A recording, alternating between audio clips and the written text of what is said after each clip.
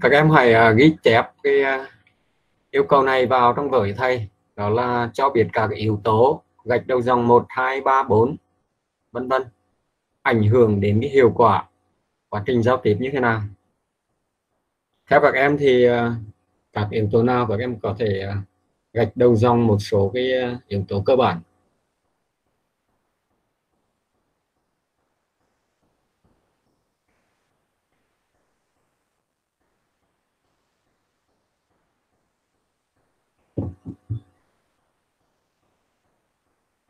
Thầy chờ trong à, vài phút nha.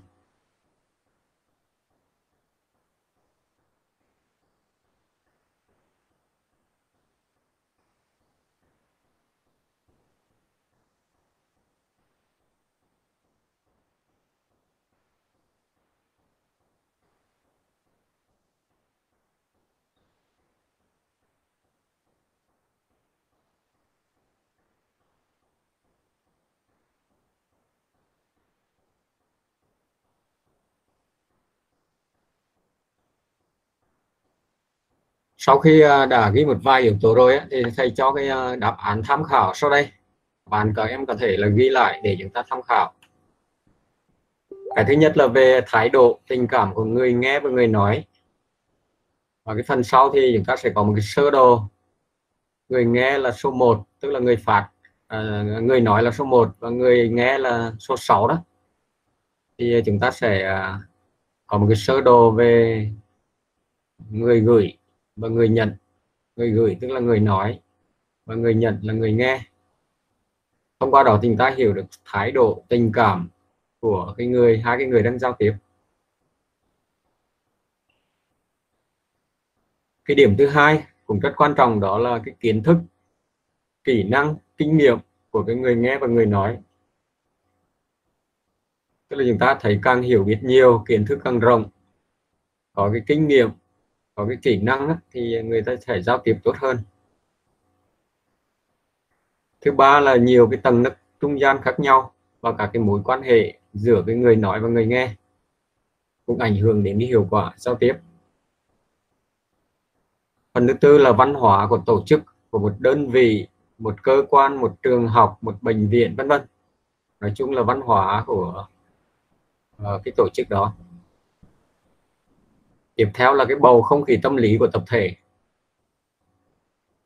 Và ngôn ngữ cử chỉ. Như chúng ta biết thì trong giao tiếp chúng ta có thể sử dụng hai cái dạng phương tiện cơ bản. Một là ngôn ngữ. Ngôn ngữ thì bao gồm có cả ngôn ngữ nói và ngôn ngữ viết. Và cứ cử chỉ đây thì được sử dụng khi giao tiếp chủ yếu là ngôn ngữ cơ thể hay còn gọi là, là ngôn ngữ cử chỉ. Ngôn ngữ cử chỉ một cái yếu tố cuối cùng đó là cái đồ nhiễu. Đồ nhiễu tức là tiếng ồn tiếng điện thoại hay là xe cổ hay là thời tiết. Nói chung những cái yếu tố nó tác động trực tiếp đến quá trình giao tiếp thì sẽ làm giảm cái hiệu quả giao tiếp đó. Phần sau thì à, thầy sẽ cho các em một cái uh, sơ đồ gồm chín yếu tố khác nhau liên quan đến cái uh, ảnh hưởng giao tiếp như thế nào.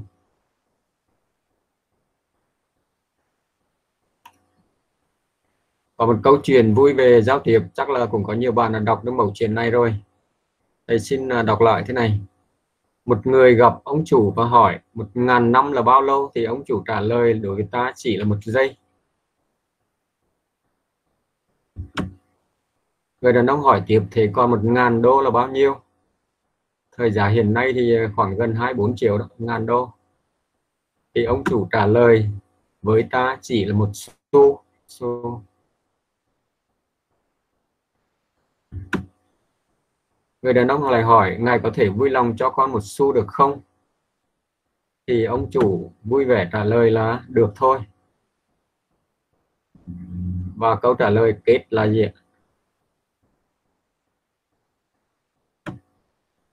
Chờ ta một giây.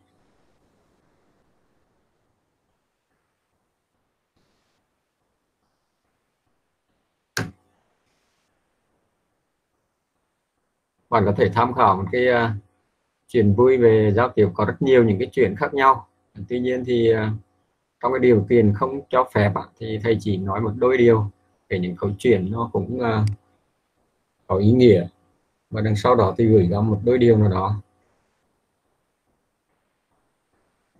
Về cái phần uh, tiếp theo đó thì cái nhiệm vụ của môn học đó, thì chúng ta có hai phần phần thứ nhất là về mặt lý thuyết thì ờ, chúng ta có thể học trong khoảng 30 tiết, tức là khoảng 7 8 buổi gì đấy.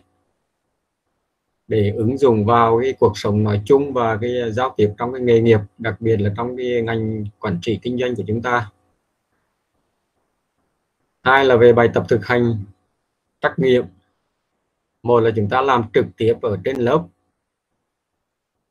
là gồm có bài 1, bài 2, bài 3, bài 4 vân vân. Một số cái bài mà thầy sẽ cho lần lượt. Chẳng hạn như chiều nay là chúng ta sẽ làm cái bài số 1 còn cái phần à, thuyết trình trên lớp thì à, bình thường như ở các khóa trước á, thì chúng ta sẽ có hai cái bài thuyết trình. Bài thuyết trình thứ nhất là giới thiệu về bản thân và nhóm của mình. Nhóm thì thầy đã gửi cho lớp trưởng rồi. Mỗi nhóm như vậy là cử cho thầy à, mỗi nhóm hay còn gọi là một tổ đó cử thành một tổ trưởng. Để điểm danh thứ hai nữa là kết nối rồi à, chúng ta sẽ gửi cho tổ trưởng một số những cái thông tin sau đây. Thứ nhất là các em gửi họ và tên ngày tháng năm sinh quê quán à, sở thích sở trường sở đoàn. Hoặc là một có một cái câu nói mà các bạn thích nhất. Một câu nói mà các bạn thích nhất. Và có thể giới thiệu các cái à, đặc sản của quê hương nơi mình sinh sống. À, tất cả những cái thông tin này thì gửi cho bạn. À, có một đến hai tấm hình ảnh thì tùy các bạn. Ảnh có thể là chụp uh, như thế nào đó thì các bạn có thể sở thích của các bạn nhưng mà nó phải nghiêm túc. À, gửi về cho bạn có thể là sử dụng từ 1 đến 2 slide để giới thiệu về mình. Tối đa là 2 phút tối đa 2 phút. Và các bạn có thể giới thiệu nhanh về mình thì khoảng từ một phút đến một phút rưỡi. Và tổ trưởng tập hợp lại. Thì sau cái phần mà chúng ta giới thiệu trên lớp á, thì mỗi em cử lên giới thiệu với mình. Tất cả lớp luôn.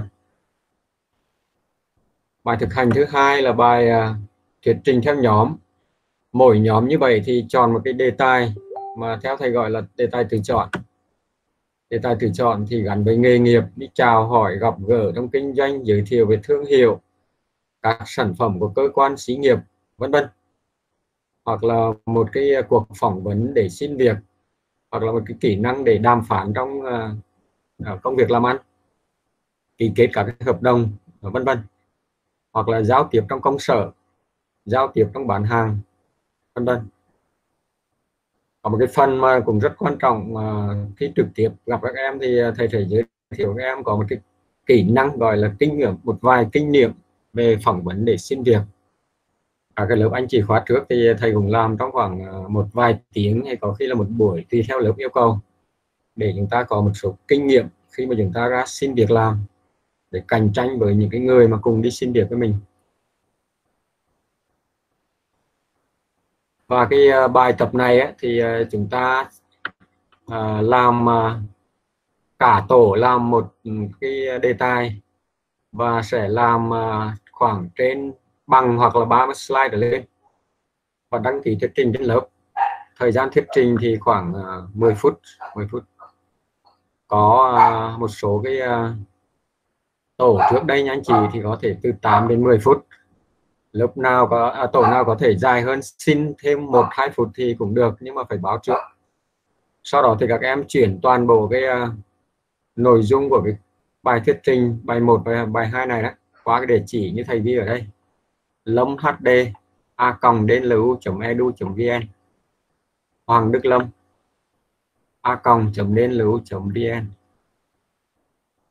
Và nộp cho thầy bộ môn chậm nhất vào buổi cuối cùng của môn học và có một cái bài nữa đó là bài thu hoạch. Các em viết trên tờ giấy A4 cái phần này thầy sẽ cho cái uh, mẫu cái mẫu riêng gửi cho lớp trưởng. Và sau đó lớp trưởng sẽ uh, chuyển cho các bạn viết bằng tay viết bằng tay.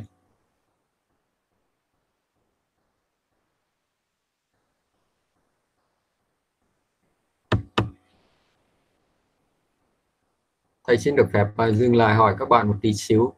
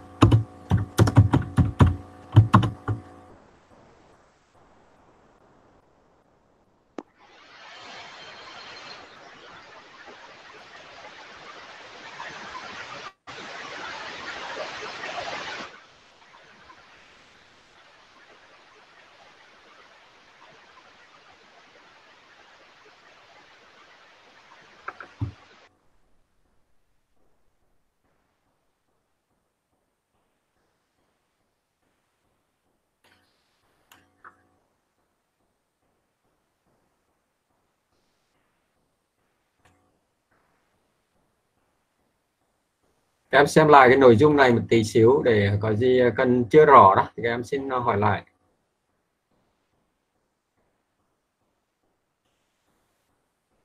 Như vậy thầy à, nhắc lại là ngoài các cái bài tập thực hành trên lớp á, mà thầy sẽ gửi cho các, tất cả các em, thì các em à, sau một khoảng thời gian thầy cho phép đó thì chúng ta nộp lại bài lại theo cái mục nộp bài đó à, có một số bài tập thì thầy sẽ cho đáp án luôn rồi các em từ chấm. Và có một số bài tập thì các thầy gửi về thầy sẽ chấm sau. Và chúng ta có hai cái bài tập đó là giới thiệu về bản thân và nhóm. Mỗi nhóm thì có thể đặt tên cho mình bằng tiếng Anh tiếng Việt tiếng Pháp gì đó là một cái tên của nhóm. Và nói rõ lý, lý do vì sao đó là chúng ta lại à, có thể đặt thêm cái tên của nhóm này như thế nào ý nghĩa của nhóm thứ hai là mỗi bạn gửi các cái thông tin có liên quan à, về họ và tên ngày tháng năm sinh sở thích sở trường sở đoạn quê quán. Và có thể có cho một cái câu nói mà bạn thích nhất bạn thích nhất. Rồi giới thiệu thêm những cái uh, cái mà nơi quê hương của bạn á. Chẳng hạn như những cái uh, món mà các bạn có thể có. Ờ, ở cái à, quê hương của mình. Để à, khi mà chúng ta lên giới thiệu đó, và hiện nay thì chắc là các em đã có cái à, đồng phục rồi, đồng phục rồi, cho nên là nếu có thể được nhà trường và cả nước mà đồng ý để chúng ta học lại đó, thì chúng ta sẽ thuyết trình trên lớp bằng cái màu áo đồng phục của khóa kinh tế quản trị kinh doanh của chúng ta cái nội dung thứ hai thì các em uh, ghi rõ cái này là về mặt chào hỏi gặp gỡ trong giới thiệu kinh doanh giới thiệu về thương hiệu các sản phẩm của cơ quan xí nghiệp. Uh, vân vân. Nói chung là một số những cái mà thầy đã nêu ở đây để các em chọn một cái đề tài thích hợp nhất mà các em thích nhất để trình bày. Trong đó có phần uh, ngôn ngữ hình ảnh. Hình ảnh thì có thể hình ảnh đồng hay là hình ảnh uh, tỉnh tùy các em.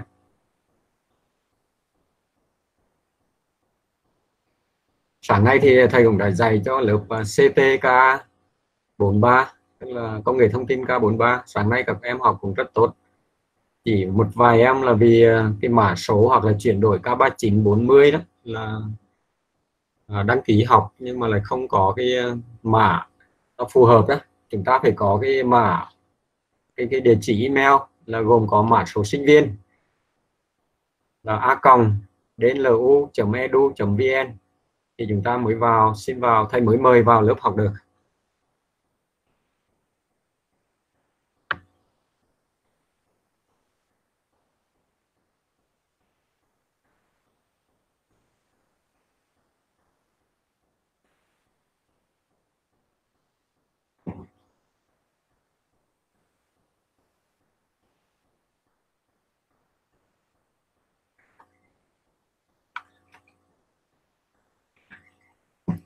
Bây giờ thầy vào cái à, nội dung khái quát về hoạt động giao tiếp.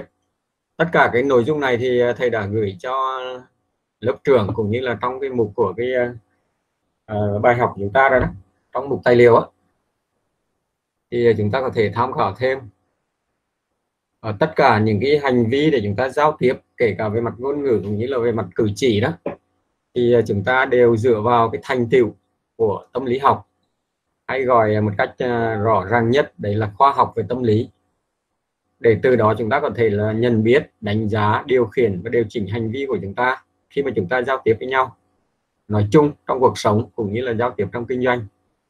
Như vậy nhận biết ở đây tức là thông qua cái cử chỉ, hành vi, nét mặt, nụ cười, vân vân rồi từ đó chúng ta có thể đánh giá cái người mà đối diện của mình trong giao tiếp. Ví dụ như vậy. Chẳng hạn như là lần đầu tiên chúng ta gặp ai đó thì sau đó chúng ta có thể đánh giá họ lại. Có thể là mặt tốt hoặc là mặt chưa tốt ví dụ như vậy. Về cái à, việc giao tiếp của chúng ta và chúng ta có thể nhận biết được họ là con người thật thà thẳng thắn hay là giả dối hay là không. Nhưng từ đó có thể là điều chỉnh cái quá trình uh, giao tiếp của chúng ta. Khi mà chúng ta gặp lại hoặc là gặp người nào đó và đấy cũng là một trong những cái kinh nghiệm để chúng ta giao tiếp nói chung trong cuộc sống và trong cái kinh doanh nói riêng. Lên trên YouTube và quý vị sẽ quýnh lên uh, YouTube là tiếng chánh phủ lâm thời Việt Nam Cộng Hòa.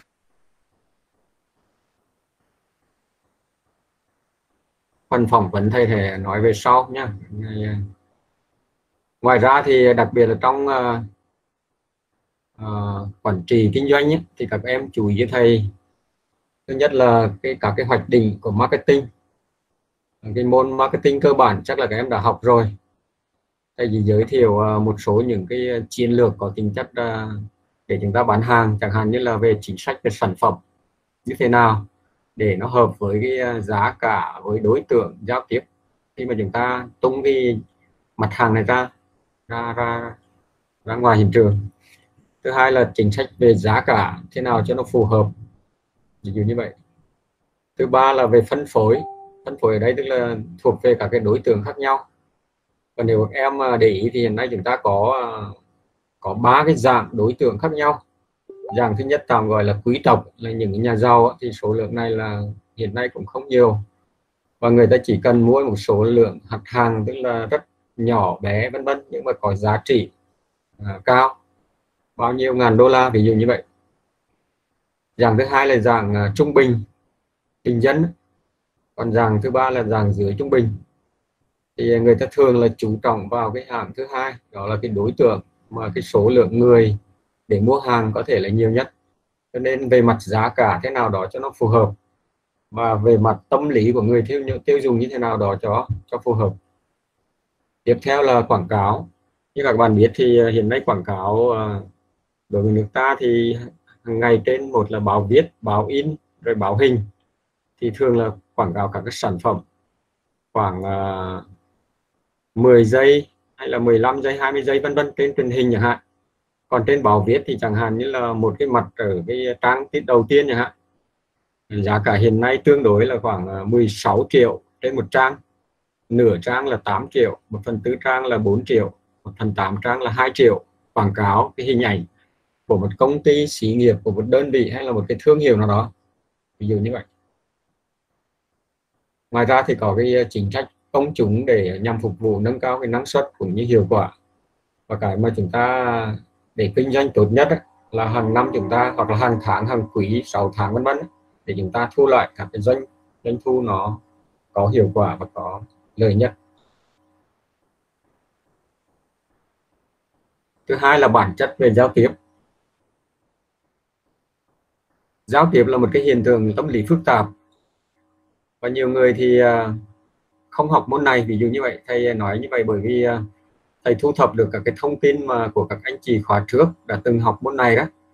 Thì à, có nói rằng là uh, giao tiếp thì cần gì phải học bởi vì một môn rất là dễ ai cũng biết giao tiếp cả. Uh, người ta nói rằng là môn A hay là ngành A ngành B ngành C nào đó thì cần gì phải học. Nhưng mà sau khi học xong thì người ta cảm nhận được rằng là hình như là tất cả các cái ngành ở trong trường hay là một số các cái ngành mà thông dụng thì cần phải học cái môn này. Bởi vì nếu các em biết tức là trong một ngàn cái kỹ năng mềm hoặc 100 kỹ năng mềm hoặc 10 kỹ năng mềm hoặc 5 kỹ năng mềm người ta thu gọn lại đó thì giao tiếp bao giờ cũng nằm ở cái top 2 tức là khoảng 5 1 đến 5 có, có khi thì người ta đặt giao tiếp là số 1 giao tiếp là số 1 và nếu các có thể thì hình dung thì các em có thể vẽ cho thầy một cái vòng tròn chia 4 ra thì một phần tư trong đó tức là 25 phần trăm là thành công hay không là do bằng cấp tức là do chuyên môn tức là chuyên môn thì chiếm khoảng 25 phần trăm còn 75 phần trăm còn lại thì à, do cả cái kỹ năng mềm mà muốn được thành công tốt nhất ấy, thì trong đó có giao tiếp tức là chiếm khoảng kỹ năng mềm chiếm khoảng 75 phần trăm. Trên cơ sở giao tiếp thì người ta có thể là cho với nhau biết về các cái thông tin với nhau và thể hiện cái tình cảm yêu thương dần hơn ghét bỏ, ví dụ như vậy. Và qua giao tiếp thì người ta có thể là dẫn tới sự tác động, ảnh hưởng lẫn nhau giữa con người với con người. Chẳng hạn như là trang phục, đầu tóc, dáng người nét mặt hành vi nói chung khi mà giao tiếp thì người ta có thể là tác động giữa người này đến người kia làm cho người khác thay đổi theo cái mà người ta đã tiếp xúc. À, các em có thể vẽ lại cái mô hình này đó là những cái tác động từ môi trường bên ngoài đó hay là cả cái yếu tố bên ngoài đến giao tiếp. Các cái yếu tố bên ngoài đến giao tiếp.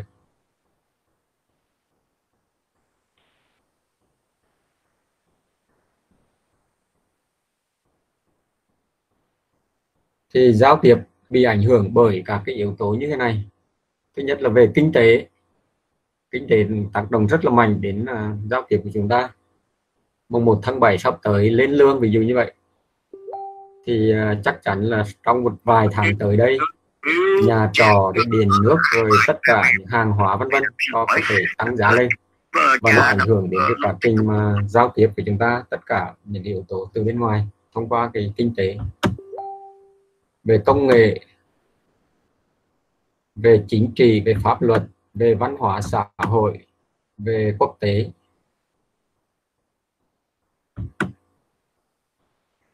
Về phong tục, về tập quán, về tín ngưỡng, về tư duy, về cơ chế, về nhận thức, vân vân. Nói chung là ảnh hưởng rất nhiều. Trong đó có có tâm lý.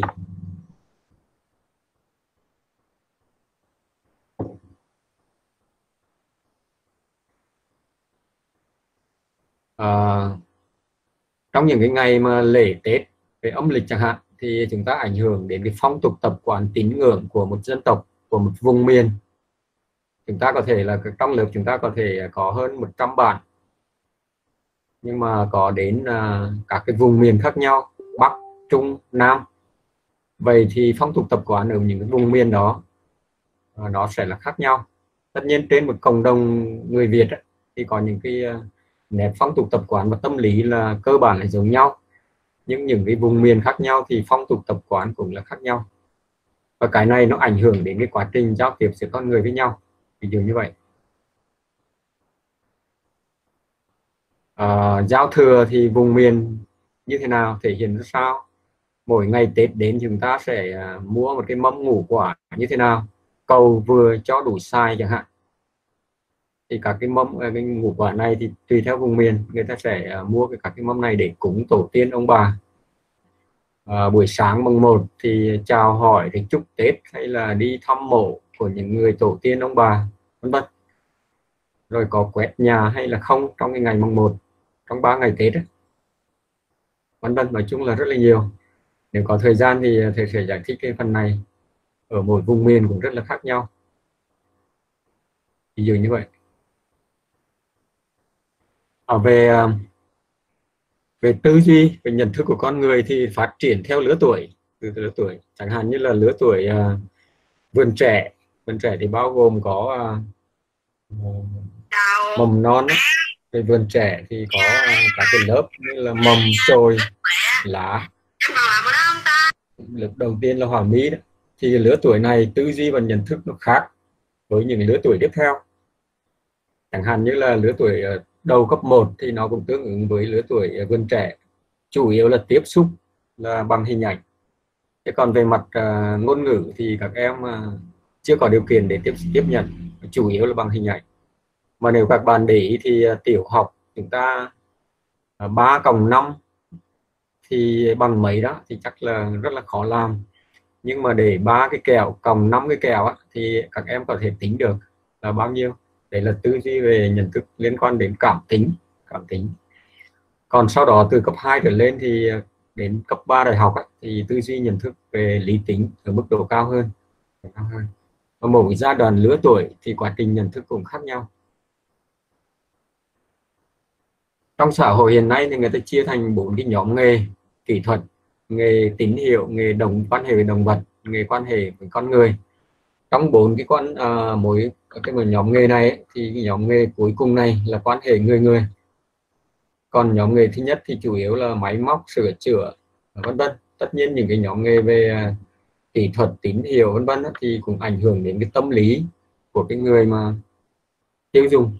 Chẳng hạn như người ta sản xuất ra một cái à, ô tô một cái xe máy một cái xe đạp có nhiều các cái loại màu sắc khác nhau vân vân. Thì người ta có thể chọn theo cái tâm lý của khách hàng. Người thích màu xanh người thích màu đỏ màu vàng vân vân.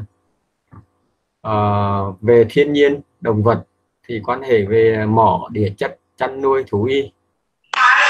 Và một cái nghề cuối cùng quan trọng rất quan trọng đó là nghề quan hệ người người. Chẳng hạn như là kinh doanh bán hàng quản lý người hướng dẫn viên du lịch nghề thầy. Trong đó có nhiều thầy thuốc thầy giáo rồi vân vân. Chung như vậy thì đó là quan hệ giữa con người với nhau thì nó phức tạp hơn.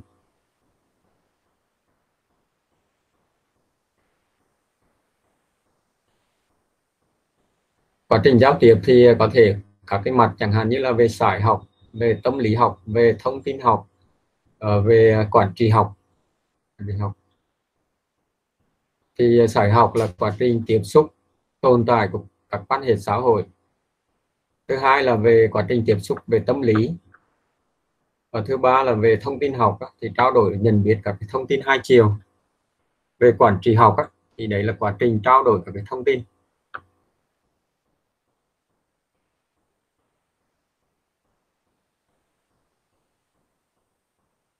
Các em có thể tham khảo một cái câu uh, giao tiếp với mọi người là một nghệ thuật mà không phải ai cũng nắm bắt được bất kỳ ai cũng phải học điều đó câu này thầy trích trong uh, cái cuốn lời tâm tình nhà xuất bản đà nẵng của uh, E.C.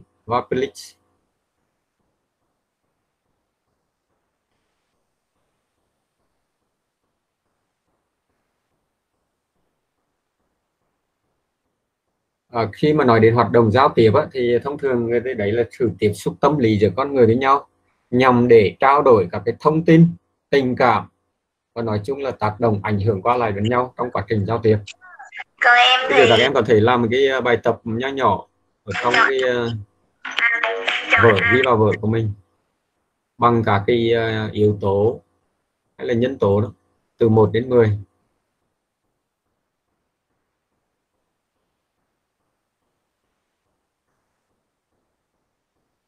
từ 1 cho đến à, uh, 10 đó là từ kỹ năng giao tiếp bằng văn bản cho đến tính cách cá nhân đó. thì các em cho cái nào là quan trọng nhất đó. thì các em uh, ghi số 1 ở phía sau cái câu đó. chẳng hạn như là kỹ năng giao tiếp bằng văn bản là số 5 thì các em ghi ở cái dấu chấm cuối cùng này là số 5 uh, à, nhiều bằng cấp chuyên môn là số 7 thì chúng ta ghi ở số 7 đây trang phục chỉnh tề là số 8 tính cách cá tính là số 3 ví dụ như vậy. Ngôn ngữ lời nói là số 2 ví dụ vậy. Thì các em ghi từ 1 cho đến 10 sau các cái câu mà thầy đã cho. À, xin uh, cho các em à, uh, 3 phút đi. Sau khi mà các em ghi xong rồi á, thì thầy sẽ cho cái đáp án ở phía trước từ kỹ năng từ kinh nghiệm từ tay nghề tính bền bỉ kỹ năng giao tiếp mức độ nhiệt tình tư cách thì từ cái à, số 1 cho đến số 10 ấy, thì thầy sẽ đánh dấu cái này. Và các em so sánh xem thử là mình à, trùng với cái đáp án đã cho của thầy đó là bao nhiêu bao nhiêu đúng bao nhiêu phần trăm. Được 10 trên 10 thì càng tốt 8 trên 10 cũng tốt 5 trên 5 thì cũng không sao cả.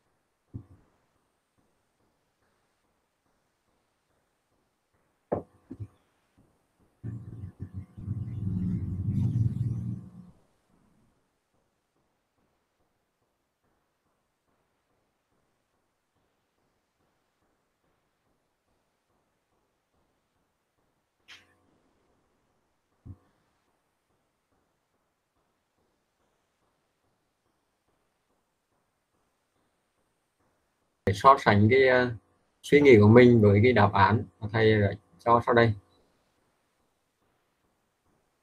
Một là cái kỹ năng giao tiếp bằng ngôn ngữ là số 1 và người ta cho rằng uh, giao tiếp bằng ngôn ngữ nói hoặc viết ấy, là quan trọng nhất. Thứ hai là bằng văn bản. Thứ ba là kinh nghiệm làm việc. Tư là mức độ nhiệt tình. Thứ năm là tay nghề kỹ thuật sáu là tính bền bỉ quả quyết. Tám là trang phục chỉnh bảy là trang phục chỉnh tề. Tám là tính cách cá tính. Chín là tư cách đỉnh đạt và 10 là bằng cấp chuyên môn. Như vậy thì à, cái người mà ra làm việc mà thành công á, thì uh, bằng cấp chuyên môn mà giỏi chưa chắc là thành công. Theo người ta nói như vậy. À, thầy nói ở đây tức là so sánh hai sinh viên có bằng cấp là xuất sắc hay là hai sinh viên có bằng cấp loại giỏi hai sinh viên có bằng cấp loại khá. Hay là khác cách khác tức là bằng cấp chuyên môn giống nhau. Nhưng có một cái người có cái kỹ năng giao tiếp tốt thì chắc chắn cái người đó sẽ thành công hơn thành công hơn. Thầy dạy cho các em sinh viên bên sư phạm á thì thầy còn nói là các em học giỏi giống nhau bằng giỏi giống nhau bằng xuất sắc giống nhau. Và khi ra trường thì có dạy giỏi giống nhau không? Thì đa số được nhận câu trả lời là không. Thầy hỏi vì sao? Thì người ta trả lời là liên quan đến giao tiếp giao tiếp. À, thầy à, thường là đi dự giờ các cái lớp thực tập sư phạm của các cái anh quản trị, khóa trước á. Từ các cái trường như là đồng Đa, Bùi Thị Xuân, à, Tây Sơn vân vân ở trong Đà Lạt đó. và gần đây nhất là ở trường Đơn Dương. Và nhiều trường nữa. Thì các em cho rằng tức là cái quan trọng không phải là học giỏi mà ra dạy giỏi cái quan trọng tức là mình phải biết thể hiện cái nội dung chuyên môn của mình thông qua cái gọi là giao tiếp trên lớp. Và cái này thì các thầy bên sư phạm cũng phải dạy từ cách ăn nói đi đứng làm việc nói chung trên lớp ăn mặc như thế nào rồi nói năng ra sao. À, các em có thể suy nghĩ một cái điều à, mà các em đã từng gặp phải. Có thể mình à, không học giỏi văn nhưng mà nhiều khi các em rất thích học văn thì cô giáo dạy rất hay. Các em có thể không à, giỏi toán nhưng mà thầy dạy toán rất là hay thì các em cũng thích học vân vân. Ví dụ như vậy.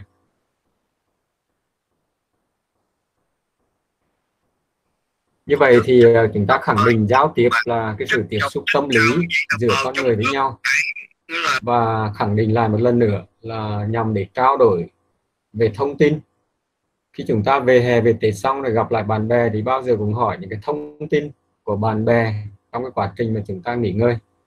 Hoặc là sau cái ờ, khi mà đại dịch kết thúc thì chúng ta có thể trở lại trường gặp nhau thì chúng ta có thể hỏi nhau về cái, cái thông tin uh, đã làm gì học như thế nào các cái môn học ra thao các thầy dạy thế nào vân vân các cái nội dung.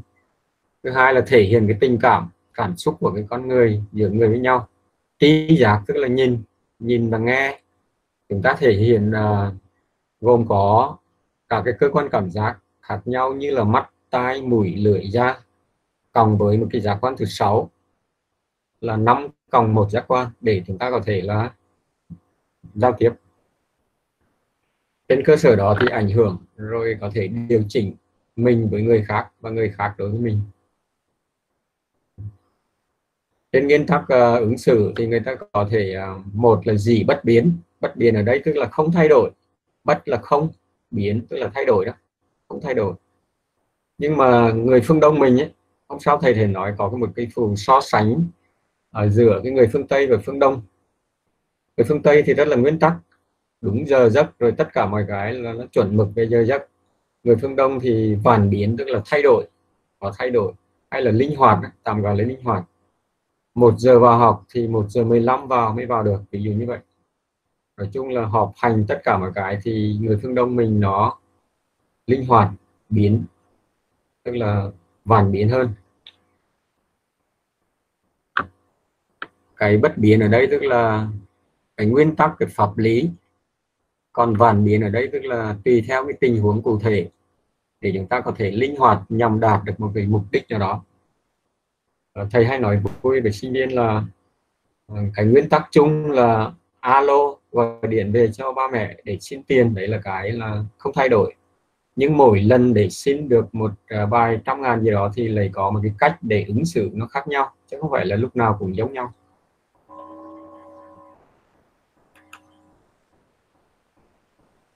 Thứ nhất là về ứng xử theo nguyên tắc ba lý ở đây là đạo lý pháp lý và tâm lý để đạt đến một chân lý. Đạo lý ở đây tức là đạo lý về thầy trò về ông bà về cha mẹ trong cái ờ, quy định chung về thứ bậc.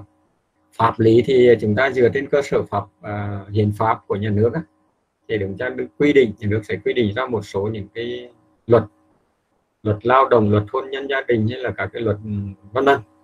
Thì để chúng ta thực hiện theo cái luật này trên cơ sở hiến pháp quy định. Thứ ba là về tâm lý. Ứng xử nó linh hoạt như thế nào trong quá trình giao tiếp để đạt đến chân lý nào đó.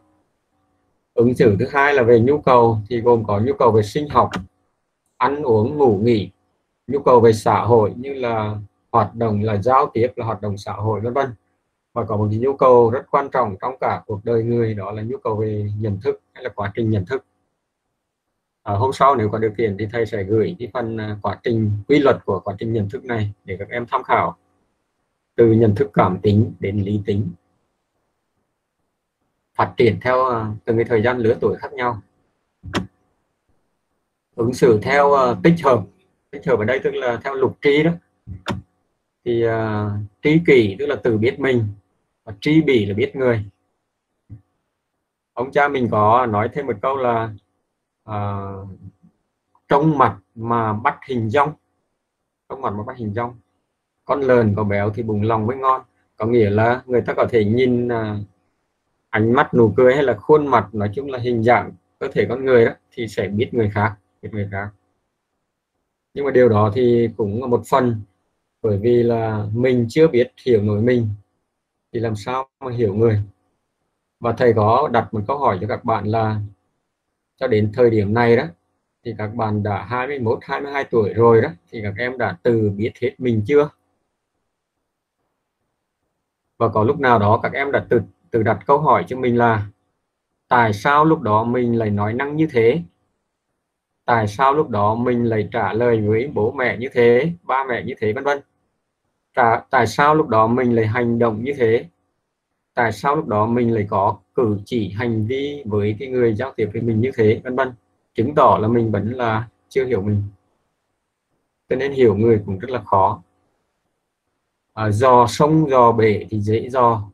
Không ai lấy thước mà đo lòng người. Trí chỉ là biết dừng lại. Cái gì nó quá đi các bạn. À, quá đi thì nó cũng sẽ ảnh hưởng rất là tác hại rất lớn.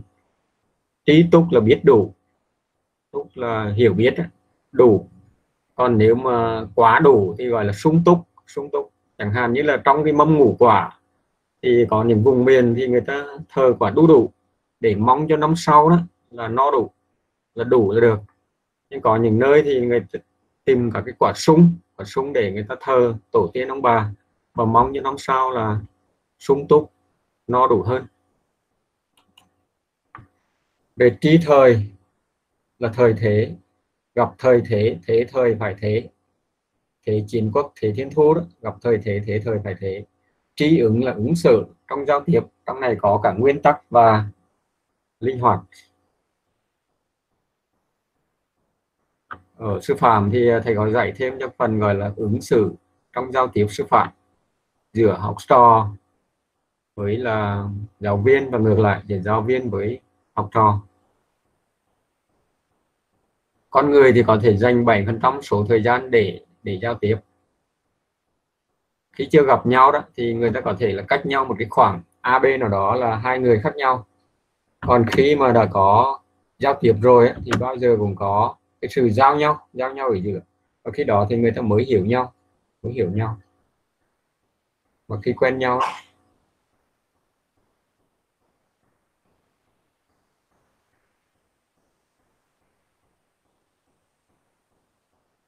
à, các bạn có thể ờ, cái phần sơ đồ rồi các cái yếu tố liên quan đến quá trình giao tiếp á, thì ờ, buổi hôm sau chúng ta sẽ học. Bây giờ các em tạm nghỉ khoảng 5 phút á, thì sau đó vào thầy sẽ gửi cái bài tập cho các bạn.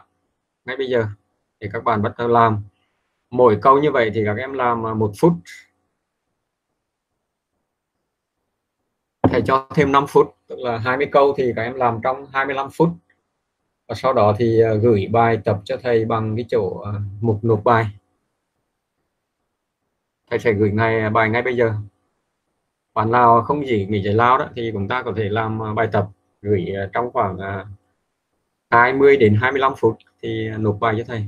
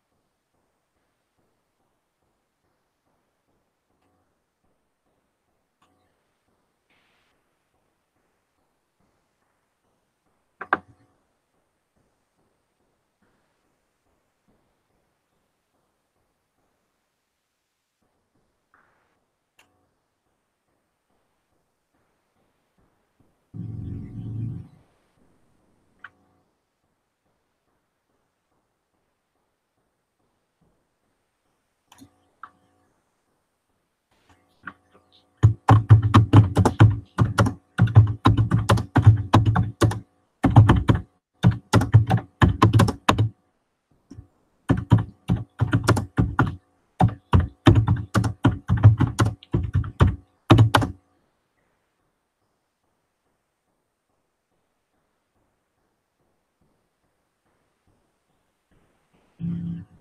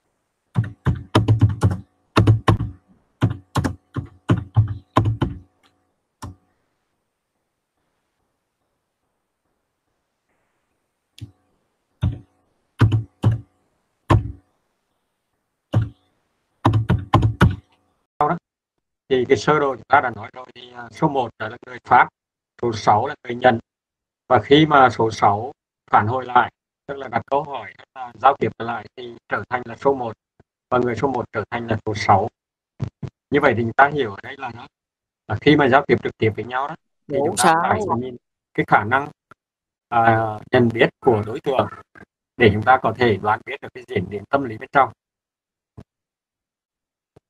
Cái điểm thứ hai đó là à, chúng ta phải có cái sự kết hợp giữa cái à, việc sử dụng phương tiện ngôn ngữ cũng như là phương tiện phi ngôn ngữ. Thành xin nhắc lại đó là phi ngôn ngữ hay là ngôn ngữ cơ thể thì chúng ta hiểu đó là cái cử chỉ điều bộ của con người chúng ta nói chung trong đó có cả cái ánh mắt nụ cười hay là nét mặt vân vân để biểu hiện. Từ đó chúng ta có thể là à, định hướng để điều chỉnh và điều khiển cái quá trình giao tiếp để đạt tới một cái mục đích nào đó. Hay nói khác là đạt đến một cái hiệu quả trong giao tiếp và trong giao tiếp. Thì đấy là cái mà cái khái niệm ban đầu. Thì chúng ta có thể tóm tắt một cách uh, như vậy. Còn cái phần uh, thứ hai tức là một chấm à, hai đó thì chúng ta có thể phân biệt các cái nhóm kỹ năng thế này. À, gồm có ba cái nhóm kỹ năng cơ bản. Nhóm kỹ năng cơ bản nhóm kỹ năng thứ nhất là nhóm kỹ năng về định hướng, thứ hai là định vị, và thứ ba là điều khiển cái quá trình giao tiếp. Điều chỉnh hay là điều khiển cái quá trình giao tiếp thì chúng ta hiểu chung là là điều khiển. Thì à, các em có thể để dễ nhớ.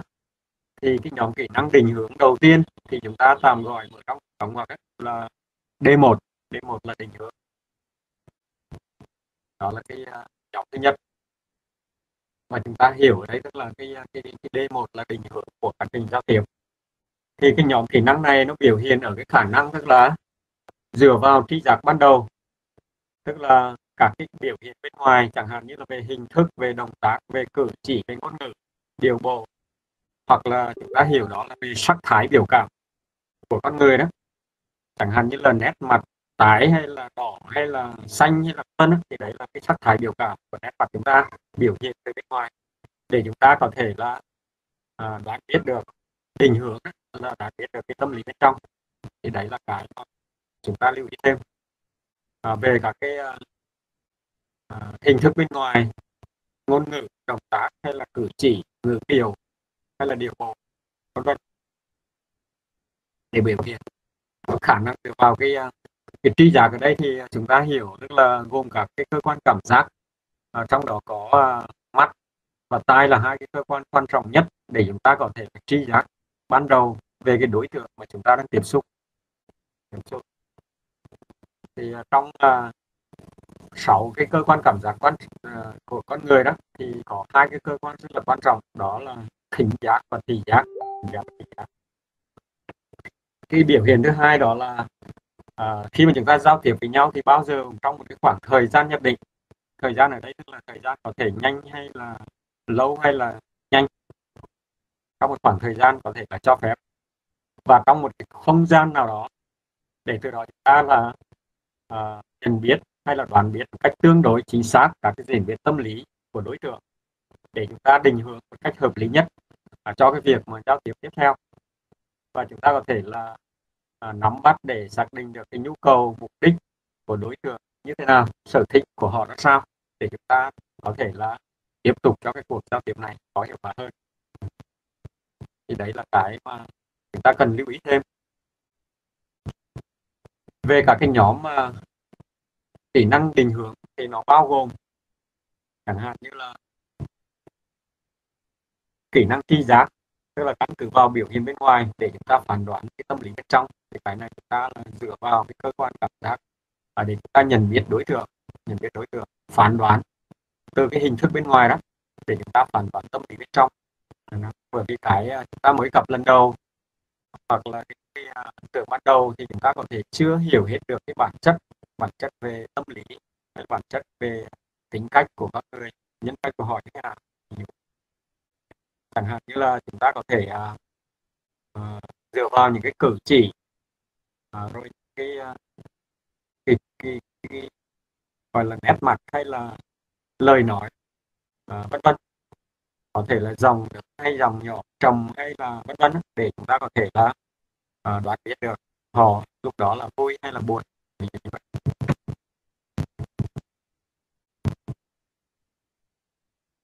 Qua tất cả các cái ngôn ngữ cử chỉ thì chúng ta có thể là là ngoài là ánh mắt này là cửa sổ tâm hồn thì có nụ cười, ví dụ như vậy. Hay là sắc thái biểu cảm của nét mặt. Chẳng hạn lấy cái ví dụ là nụ cười chẳng hạn.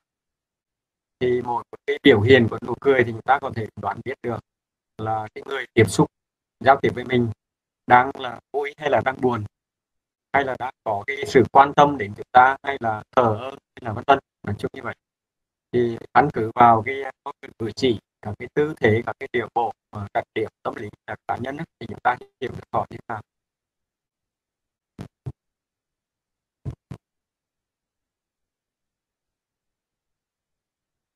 Một nụ cười bằng cười thang thuốc bổ bằng một rổ penicillin, hơn một nghìn viên B1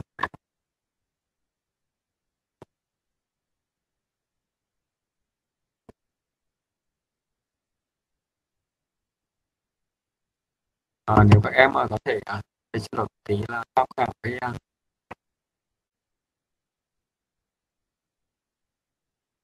giá trị của nụ cười như vậy.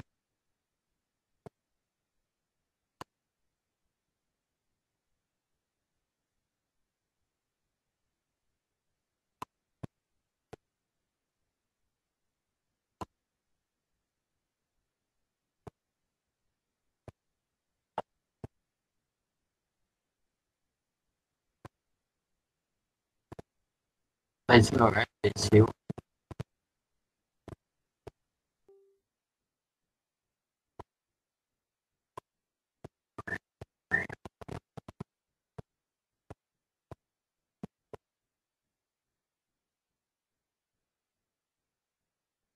Thông thường thì những cái ngôn ngữ cử chỉ ấy, là thông qua cái ngôn ngữ cơ thể thì còn gọi là ngôn ngữ cơ thể nói chung hay là cử chỉ con người nói chung thì có tính chất thật hơn so với lời nói, so với lời nói. Bởi vì cái đó nó thuộc về cái bản năng vô thức. Một số những cái hành động là lời, vân vân ví dụ như vậy đó là ngôn từ cử chỉ. Nhóm thứ hai là nhóm mà các cái kỹ năng định vị các cái năng định vị. Thì đây là nhóm kỹ năng có khả năng xác định vị trí giao tiếp để từ đó tạo điều kiện cho đối tượng chủ động. Đây là nhóm hai là chẳng hạn như là hai người cùng đồng cấp hay là cùng nhân viên cùng chuyên viên với nhau hay là cùng trưởng phòng hay là cùng phó phòng hay là cùng giám đốc vân vân. Đó là hai cái người là ở cái mức độ trong địa vị xã hội ấy, là họ giống nhau. Thứ hai là cái người cao hơn là A là cấp trên của B và ngược lại là A nhỏ hơn B thì là B là cấp trên của A. Ví dụ như vậy. Thì là những cái, cái gọi là cái vị trí trong xã hội của cái người à, trong giao tiếp chẳng hạn A và B bằng nhau thì dòng điểm thân thiện cởi mở với đây là cái người mà đồng cấp đồng cấp thân thiện thoải mái nói chuyện vô tư với nhau. Ví dụ như vậy đây là cái người mà gọi là đồng cấp. Nhưng giả sử người A lớn B và tương tự là B lớn A vậy thì à, chúng ta thấy là hai cái này là nó có thể đổi chỗ với nhau. Thì một người ở bậc trên, cao trên thì kể cả hay gọi là nói tổng không, có khi là ra mình lạnh đối với thủ trưởng, với nhân viên, ví dụ như vậy. Còn B thì nó ngược lại còn giả sử A nhỏ B thì B là thủ trưởng của A như vậy.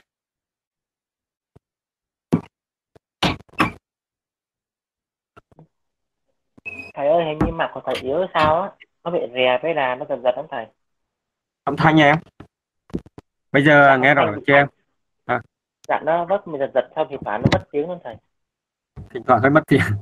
À, máy chắc là do máy tính của thầy á thầy cũng sửa nhiều lần rồi. À, chịu khó một tí ha.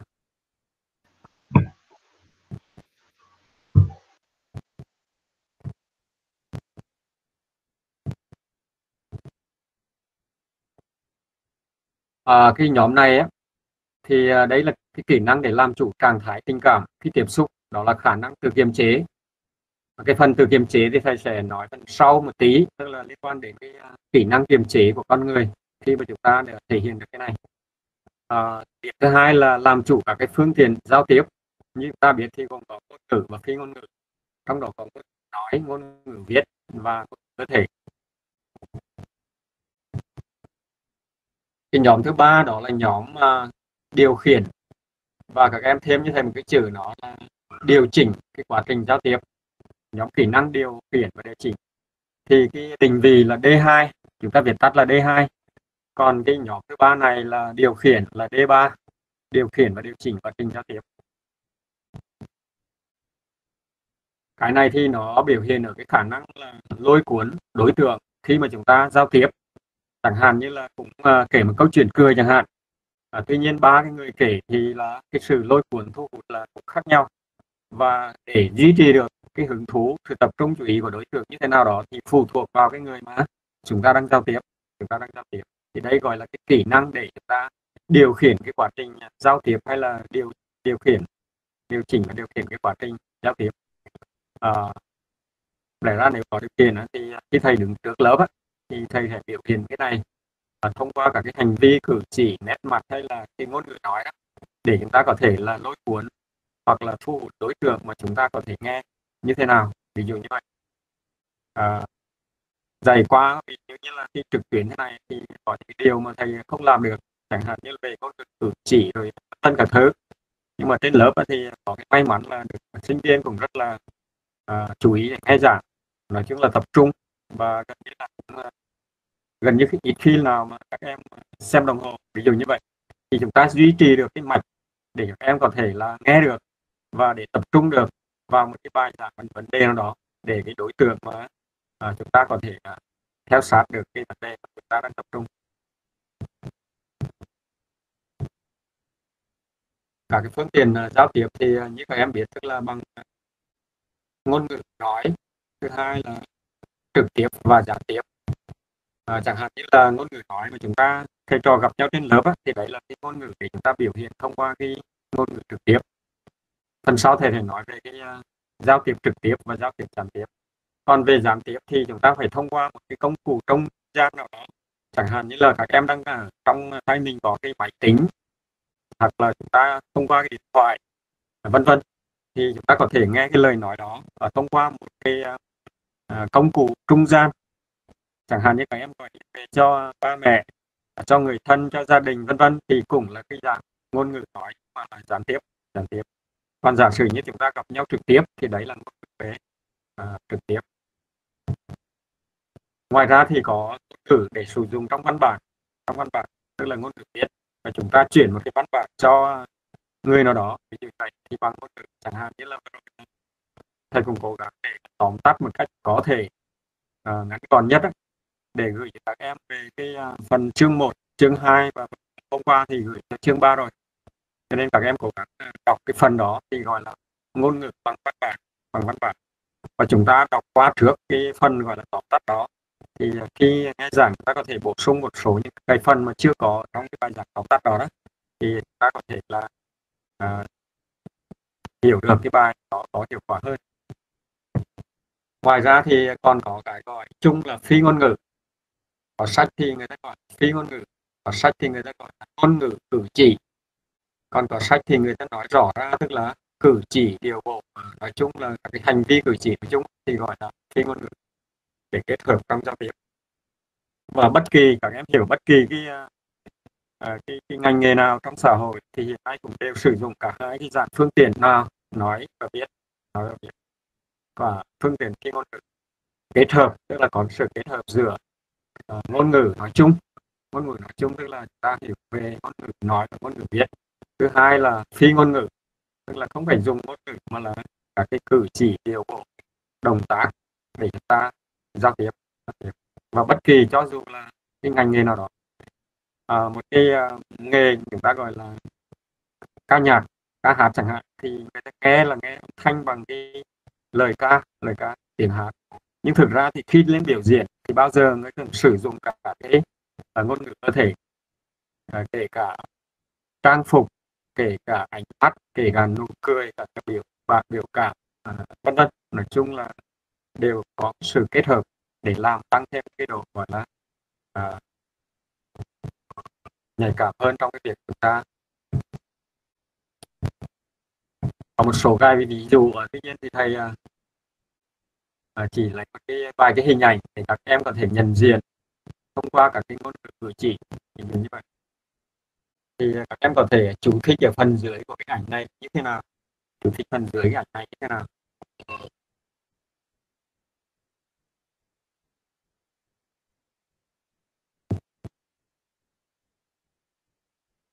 À, thầy ờ, để là đỡ mất thời gian của các bạn thì thầy minh họa luôn. Thì đây là một cái ánh mắt, nụ cười cũng như là nét mặt rất là hạnh phúc. Ví dụ như vậy. Và nếu các em để ý thì khi chúng ta đi xa nhà về đó, được người mẹ ra đó thì có một cái biểu hiện về mặt ngôn ngữ cử chỉ đó, nào là nét mặt, ánh mắt, nụ cười, một cái ôm hôn hay là vân vân, nói một cái cử chỉ nào đó rất là hạnh phúc. Tất nhiên cũng có à, nhiều em đi xa về thì mẹ khóc nhưng mà khóc trong sung sướng và khóc trong cái cái hạnh phúc nào đó. À, nếu có điều kiện lên à, giảng phần kia thì thầy sẽ minh họa trên cái phần này. Chúng ta có thể là vui cũng khóc buồn cũng khóc nhưng mà hạnh phúc cũng khóc và hạnh phúc cũng cười à, vân vân. Điều này thì chắc chắn là có một cái điều gì đó bất thường đó bàng hoàng ngạc nhiên hay là có cái điều gì đó vừa xảy ra? À, thứ ba thì bị tổn thương. Chẳng hạn như là ừ, chúng ta nói cái điều gì đó chưa kịp suy nghĩ chưa kịp suy nghĩ mà dẫn đến cho người thân cho bố mẹ hay là đặc biệt là người mẹ mình nhé thì có thể là chúng ta bị tổn thương. Tất nhiên lời nói thì có rút lại hành vi cử chỉ thì có thể là rút lại được nhưng mà lời nói thì rất là khó rút lại. Cho nên làm cho người khác có thể là bị tổn thương. Và cái hình ảnh thứ tư đó là tập ngưng không chắc chắn chắc chắn. À, cái biểu hiện của nét mặt về nam giới chẳng hạn thì nó cũng khác với nữ giới. Chẳng hạn đây là cái uh, hình ảnh mà chúng ta cảm giác như là rất buồn. Đây là căng thẳng. Đây là chán ghét chán ghét và một cái hình ảnh cuối cùng đó là chúng thích thế nào nhỉ? sao mà tôi tốt thế? Sao mà tôi tốt thế? Thầy có nhớ trực uh, à, trực giác nhớ lại một cái bài thơ uh, của một cái uh, nhà thơ ở trên thế giới viết cái câu thế này các bạn em bảo anh đi đi. Sao anh không đứng đợi? Tức là bảo người ta đi mà lại trách là không đứng đợi. Em bảo anh đừng đợi. Sao anh vội về ngay? Tức là đừng có đợi. Nhưng mà sau đó trách là vội về ngay. Lời nói thoảng gió bay, đôi mắt huyền đẫm lệ. Sao mà anh không thể không nhìn vào mắt em? Như vậy chúng ta giữa lời nói và ngôn ngữ cử chỉ thì nó có cái sự mâu thuẫn, sự mâu thuẫn nói thì nói như vậy thôi, nhưng thực ra thì không phải như vậy. Hay là chúng ta hay nói vui là nói có là không và nói không là có. Em bảo anh đi đi, sao anh không đứng đợi? Anh bảo em đừng đợi, sao anh vội về ngay? Lời nói thoảng gió bay, đôi mắt huyền đẫm lệ, sao mà anh không thể không nhìn vào mắt em? Đây là một quan hệ giữa cái ngôn ngữ của chỉ cũng như là lời nói hay là ngôn ngữ nói.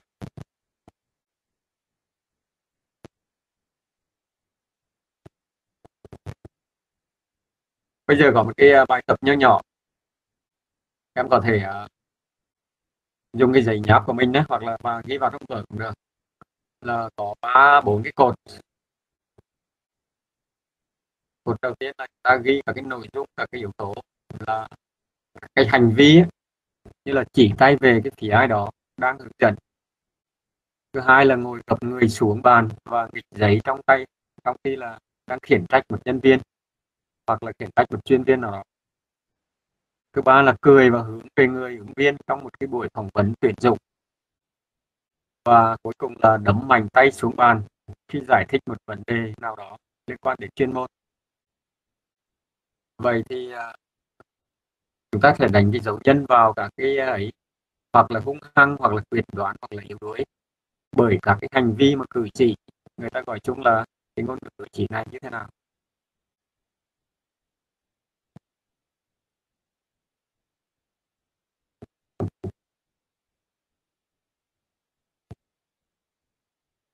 Các em chắc là đã có cái à, đáp án trong đầu rồi. À, tuy nhiên để khỏi mất thời gian thì à, thầy chú thích luôn.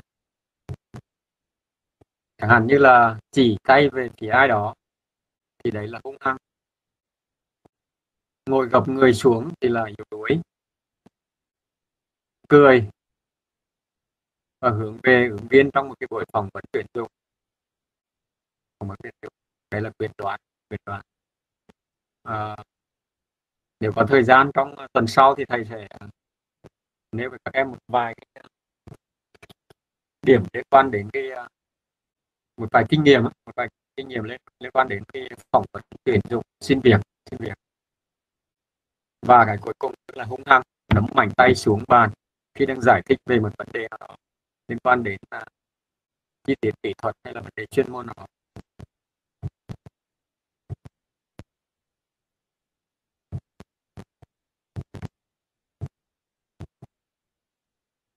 Những bức thư điện tử không thể thay thế được hơi ấm của cái bắt tay.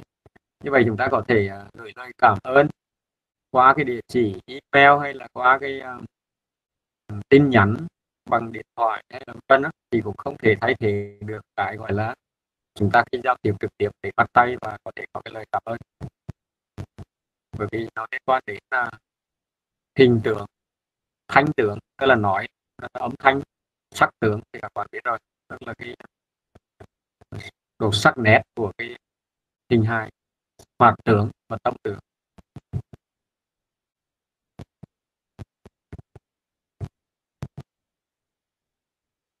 còn về à, đó là ngôn ngữ cử chỉ, còn ngôn ngữ nói là được biểu hiện bằng âm thanh. Âm thanh thì có thể là lớn, nhỏ vân vân.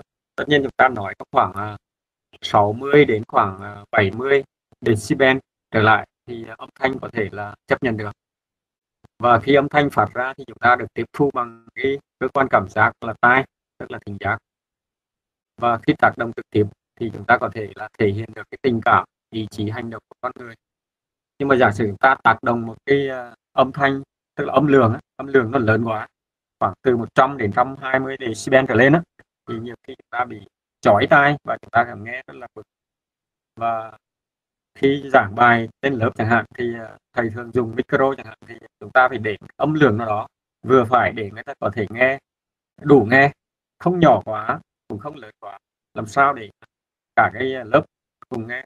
Tất nhiên đối với hội trường lớn như A tầm B hay là một số cái hội trường lớn thì âm thanh phải lớn hơn. Còn trong cái phòng mà chúng ta thường học như là A2712 thì âm thanh nó vừa phải để chúng ta có thể là đúng nghe.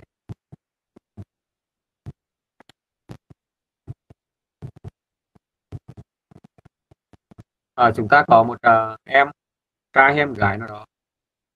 Một đứa trẻ nhiều các bạn ở nhà có một ờ, người em ruột mình nhé thông minh hiếu động. Tất nhiên là cũng ham chơi.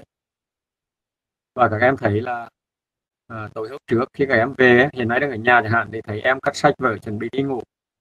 Và bạn chính là cái người mà hỏi em mình ấy, là học bài kỹ chưa? Thì em mình trả lời là đã học xong rồi tuy nhiên hôm sau đi học về đó thì bạn hỏi thăm về cái uh, chuyện học hành như thế nào thì em của mình trả lời rằng là đã bị sai một cái môn nào đó môn toán môn lý hóa văn sinh sử gì đó tức là không làm được bài. Vậy thì bạn sẽ là cái người nói như thế nào với em mình? Đây là một cái bài tập tình huống để các em có thể xử lý trong cái điều kiện cụ thể nào đó tất nhiên có nhiều cách xử lý khác nhau, nhưng mà để có cái cách nào đó để giao tiếp làm cho em tiến bộ hơn hoặc là nó không mải chơi hơn vân thì chúng ta có một cái cách nào đó để nói cho đây là một cái bài mà có thời gian để hỏi các bạn trực tiếp.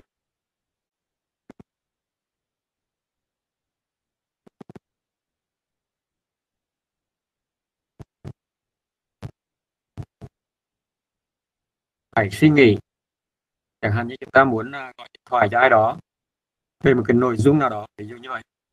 Hoặc là gửi thư cho ai đó qua địa chỉ email hay là chat với nhau vân vân qua các cái địa chỉ vân vân qua điện thoại chẳng hạn thì chúng ta phải suy nghĩ trước khi mà à, chúng ta có thể à, thể hiện cái nội dung này.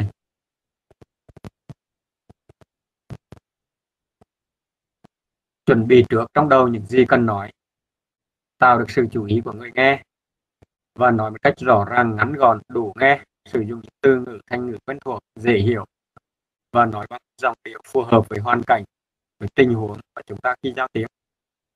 Và sau đó thì có cái sự phản hồi qua cái hình thức nói.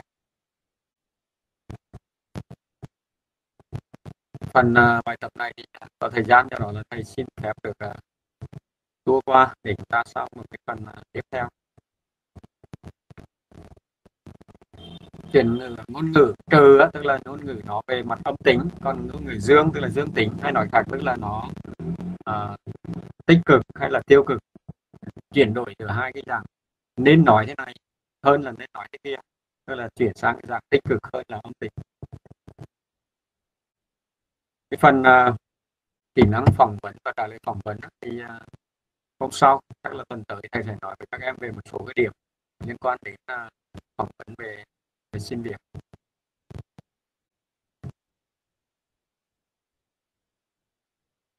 Chúng ta có cái sự so sánh giữa cái uh, uh, ngôn ngữ và các cái uh, cử chỉ tức là điều bộ hay là ngôn ngữ cơ thể đó. À, chúng ta có thể uh, quay trở lại về thời mình đang học uh, lớp 1, cấp lớp 2 hay là tiểu học đó thì các em được dạy à, thứ nhất là đọc, thứ hai là nói, thứ ba là viết. Và những cái điều này thì các em luôn luôn là được thầy cô mình dạy. Và nếu như các em biết thì à, à, một cái điều, một cái môn, tất nhiên sau này chúng ta học ngoại ngữ như là anh văn hay là pháp văn, nhật hay là trung hoa thì có một cái môn rất là khó phải là môn nghe môn nghe thầy cũng cảm nhận rằng mình là cái môn này là yếu nhất. Listening chúng ta gọi là môn, môn nghe. Nhưng mà suốt quãng đời mà chúng ta đi học phổ thông thì các em lại không được dạy cái môn này. Không được dạy môn này. Tức là chỉ có nghe rồi chúng ta trả lời bằng thông qua là viết này đọc rồi nói thôi. Chứ còn ờ, để có cái môn riêng biệt mà dạy nghe thì lại không có. Đó. mà chúng ta là phải học à, đầu tiên đó là là phải nghe phải nghe. Nhưng mà cái môn để dạy chúng ta nghe thì lại không có. Môn thứ hai bắt đầu để nói chẳng hạn như vậy. Tập đọc đó. Môn thứ ba là đọc thứ tư là viết chính tả chẳng hạn như vậy. Và sử dụng nhiều nhất thì chúng ta thấy đấy là thông qua cái thính giác là nghe nhiều nhất. Nói là thứ hai đọc là thứ ba và viết là ít hơn, À, được dạy nói thì tương đối ít dạy đọc thì tương đối nhiều dạy viết là viết nhiều nhất nhiều nhất. Còn riêng nghe đó, thì chúng ta lại là gần như không được học gần học. Nào chúng ta lên à, tuổi lên ba đó thì cả nhà học nói tức là gặp cái gì cũng hỏi và hỏi tần cùng của sự hỏi. Và nhiều khi có những người trong gia đình là gặp cái gì em cũng hỏi và phải trả lời đến đến khi mà hết câu hỏi thì thôi cho nên nhiều khi chúng ta người lớn gặp những đứa trẻ quá tuổi thì nó khi giảm uh, à, dễ bực mình hơn. Bởi vì cái uh, giai đoạn này em biết là đang cái giai đoạn khám phá thế giới uh, chưa biết nhiều về cái thế giới xung quanh do đó là gặp cái gì nó cũng phải hỏi cho bằng được để người lớn phải trả lời đó hiểu. Đấy là nghe. Khi mà chúng ta nhận cả cái thông tin từ bên ngoài vào đó à, nếu viết ký hiệu là SR đó. S tức là kích thích R tức là phản ứng phản ứng reaction tức là phản ứng. Thì à, chúng ta nghe bên à, thông tin thông qua cái thính giác sau đó truyền lên cái bán cầu đại não. Hai hai bán cầu đại não thì nhận các cái trung khu thần kinh ở đây để xử lý các cái thông tin. Sau đó xử lý thông tin xong thì chúng ta trả lời các cái kích thích từ bên ngoài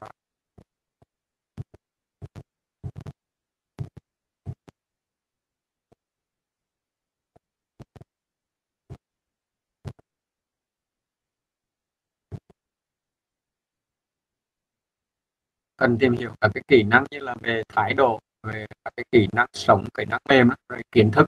Chúng ta có ba cái dạng. Thái độ kỹ năng và kiến thức.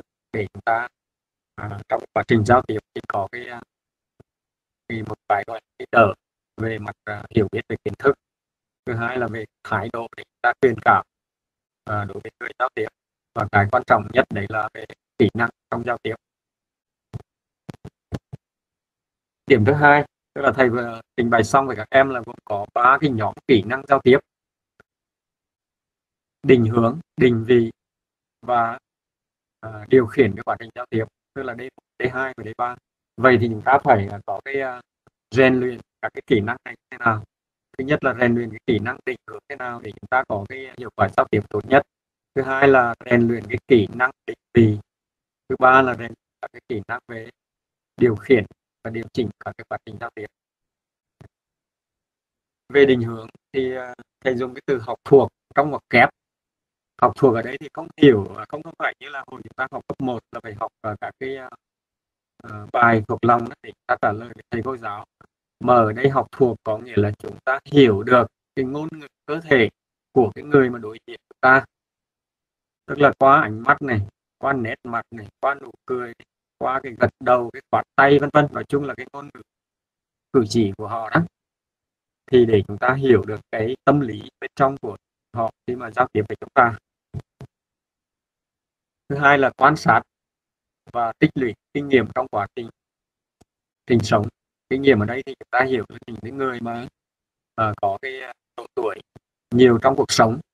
Chẳng hạn như là khi ra khỏi nhà thì chúng ta thường là phải hỏi người già người nhiều tuổi để biết được cái kinh nghiệm nào đó.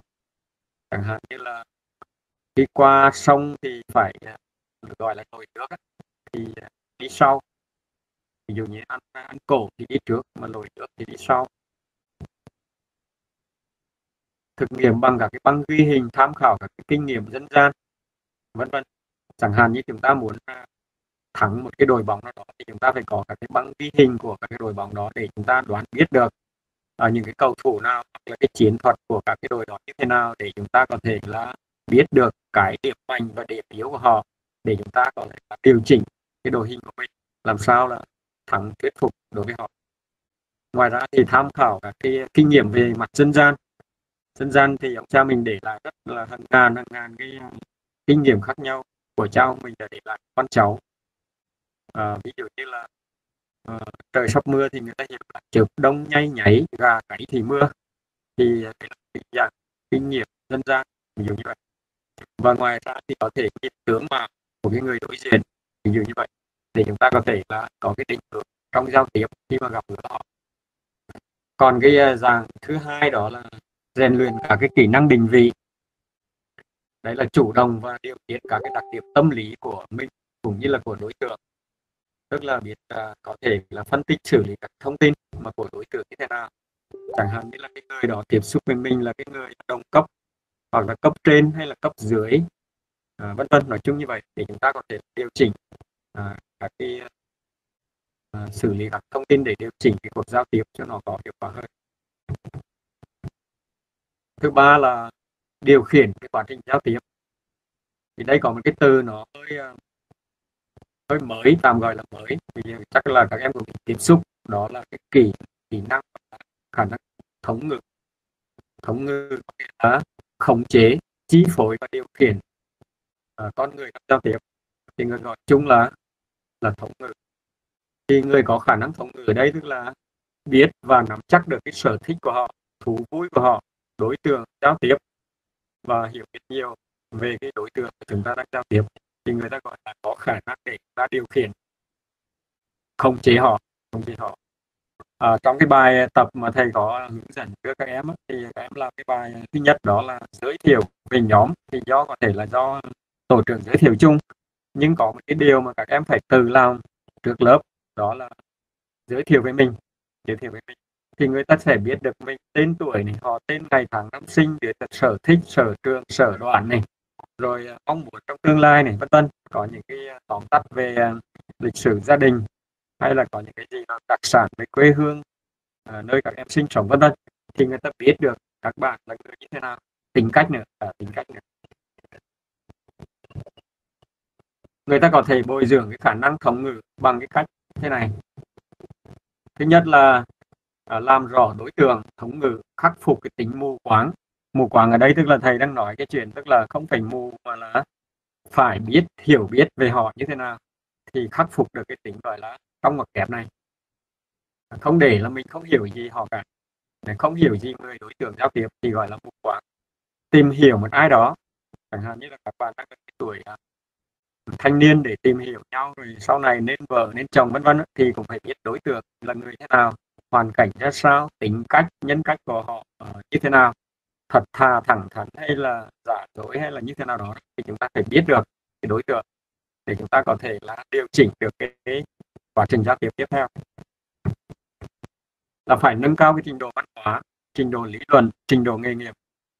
À, thầy nói một điều tức là trình độ văn hóa và trình độ à, học vấn các bạn thì nó có thể là tỷ lệ thuần với nhau. Chẳng hạn như anh có cái trình độ à, vấn cao đó thì trình độ văn hóa cũng có thể là cao, nhưng cũng có người lại, trình độ học vấn cao, nhưng mà trình độ văn hóa, sử thì lại không được cao, tạm gọi là thấp. Nhưng cũng có điều ngược lại nữa, đó là có những người trình độ học vấn rất là thấp. Đây là tỷ lệ nghịch ấy. thì nhưng mà trình độ văn hóa ứng sử giao tiếp của họ thì rất là cao. Nếu các em về ở các cái vùng quê ừ, chẳng hạn như là thầy hay về à, quê để thăm thăm gia đình rồi à, vân vân vân thì gặp những cái người mà u 90 u 80 chẳng hạn. Trước đây họ không có cái điều kiện để đi học, có nghĩa là mù chữ, ví dụ như vậy. Trình độ học vẫn rất là thấp, nhưng mà trình độ văn hóa, ứng xử thì rất là cao. Cho nên con cháu, những người họ phải học học họ, khi là họ không có trình độ văn, trình độ à, vẫn thấp, ví dụ như vậy. Ngoài ra thì có cái à, liên quan đến nghề nghiệp, tức là chuyên môn của mình. Và điều quan cuối cùng đó là về bồi dưỡng cái phẩm cách. Phẩm cách ở đây thì thầy viết tắt đó là phẩm chất và nhân cách của một con người. Giả sử như có điều kiện trực tiếp thì thầy nói em về phẩm chất của người Việt Nam trong đó có đức và tài. Đức và tài bà cô để giải thích cái phần này rồi. À, thứ hai là nhân cách. Nhân cách trong xã hội thì người ta có thể chia thành bốn cái nhóm bốn cái nhóm. Chẳng hạn như là học này rồi linh hoạt rồi bình thản rồi yếu tư tức là bốn cái nhóm gọi là tính cách của con người, trong các cái kiểu khí chất mà chúng ta học ở cái phần gọi là nhân cách con người nói chung. Thứ ba là học cách công tâm. Công tâm ở đây tức là vào lòng người. Và chúng ta có cái sự chân thành, có cái sự chân thật cái sự hiểu hảo. Hiểu ở đây là có, hảo là tốt, có cái điều điều tốt lành. Hảo hảo là tốt. Rèn luyện cái khả năng hấp dẫn đối tượng bằng cách tức là bằng cái lòng tự tin của mình hay nói cái khác tức là cái vốn văn hóa của mình cái vốn trí thức của mình trình độ học vấn của mình là mình phải tự tin để mình uh, à, khẳng định được cái điều mà về mặt chuyên môn về mặt nhân cách về tất cả mọi cái thì phải tự tin bằng cái vốn có của mình. Không tự kiêu tức là nâng cái bản chân mình lên trên cái mà có của mình chẳng hạn như là mình là A chẳng hạn. Nhưng mà tự nhiên mình nâng mình lên thành A cộng A cộng tức là trên một cái bậc cao hơn, gọi là tự kiêu.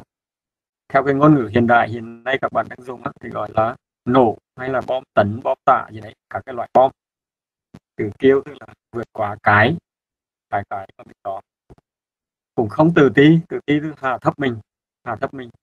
Tức là mình có thể hiểu biết như thế này, nhưng mà tự nhiên lại cho mình rằng là không có sự hiểu biết như vậy. Cho nên chúng ta phải là bằng cái lòng tự tin của mình, không tự kiêu và không tự ti để chúng ta có thể là rèn luyện cái khả năng để giao tiếp. Cử cư xử chân thành với mọi người. Cái này thì rõ và ca nhờ những cái điểm mạnh của họ.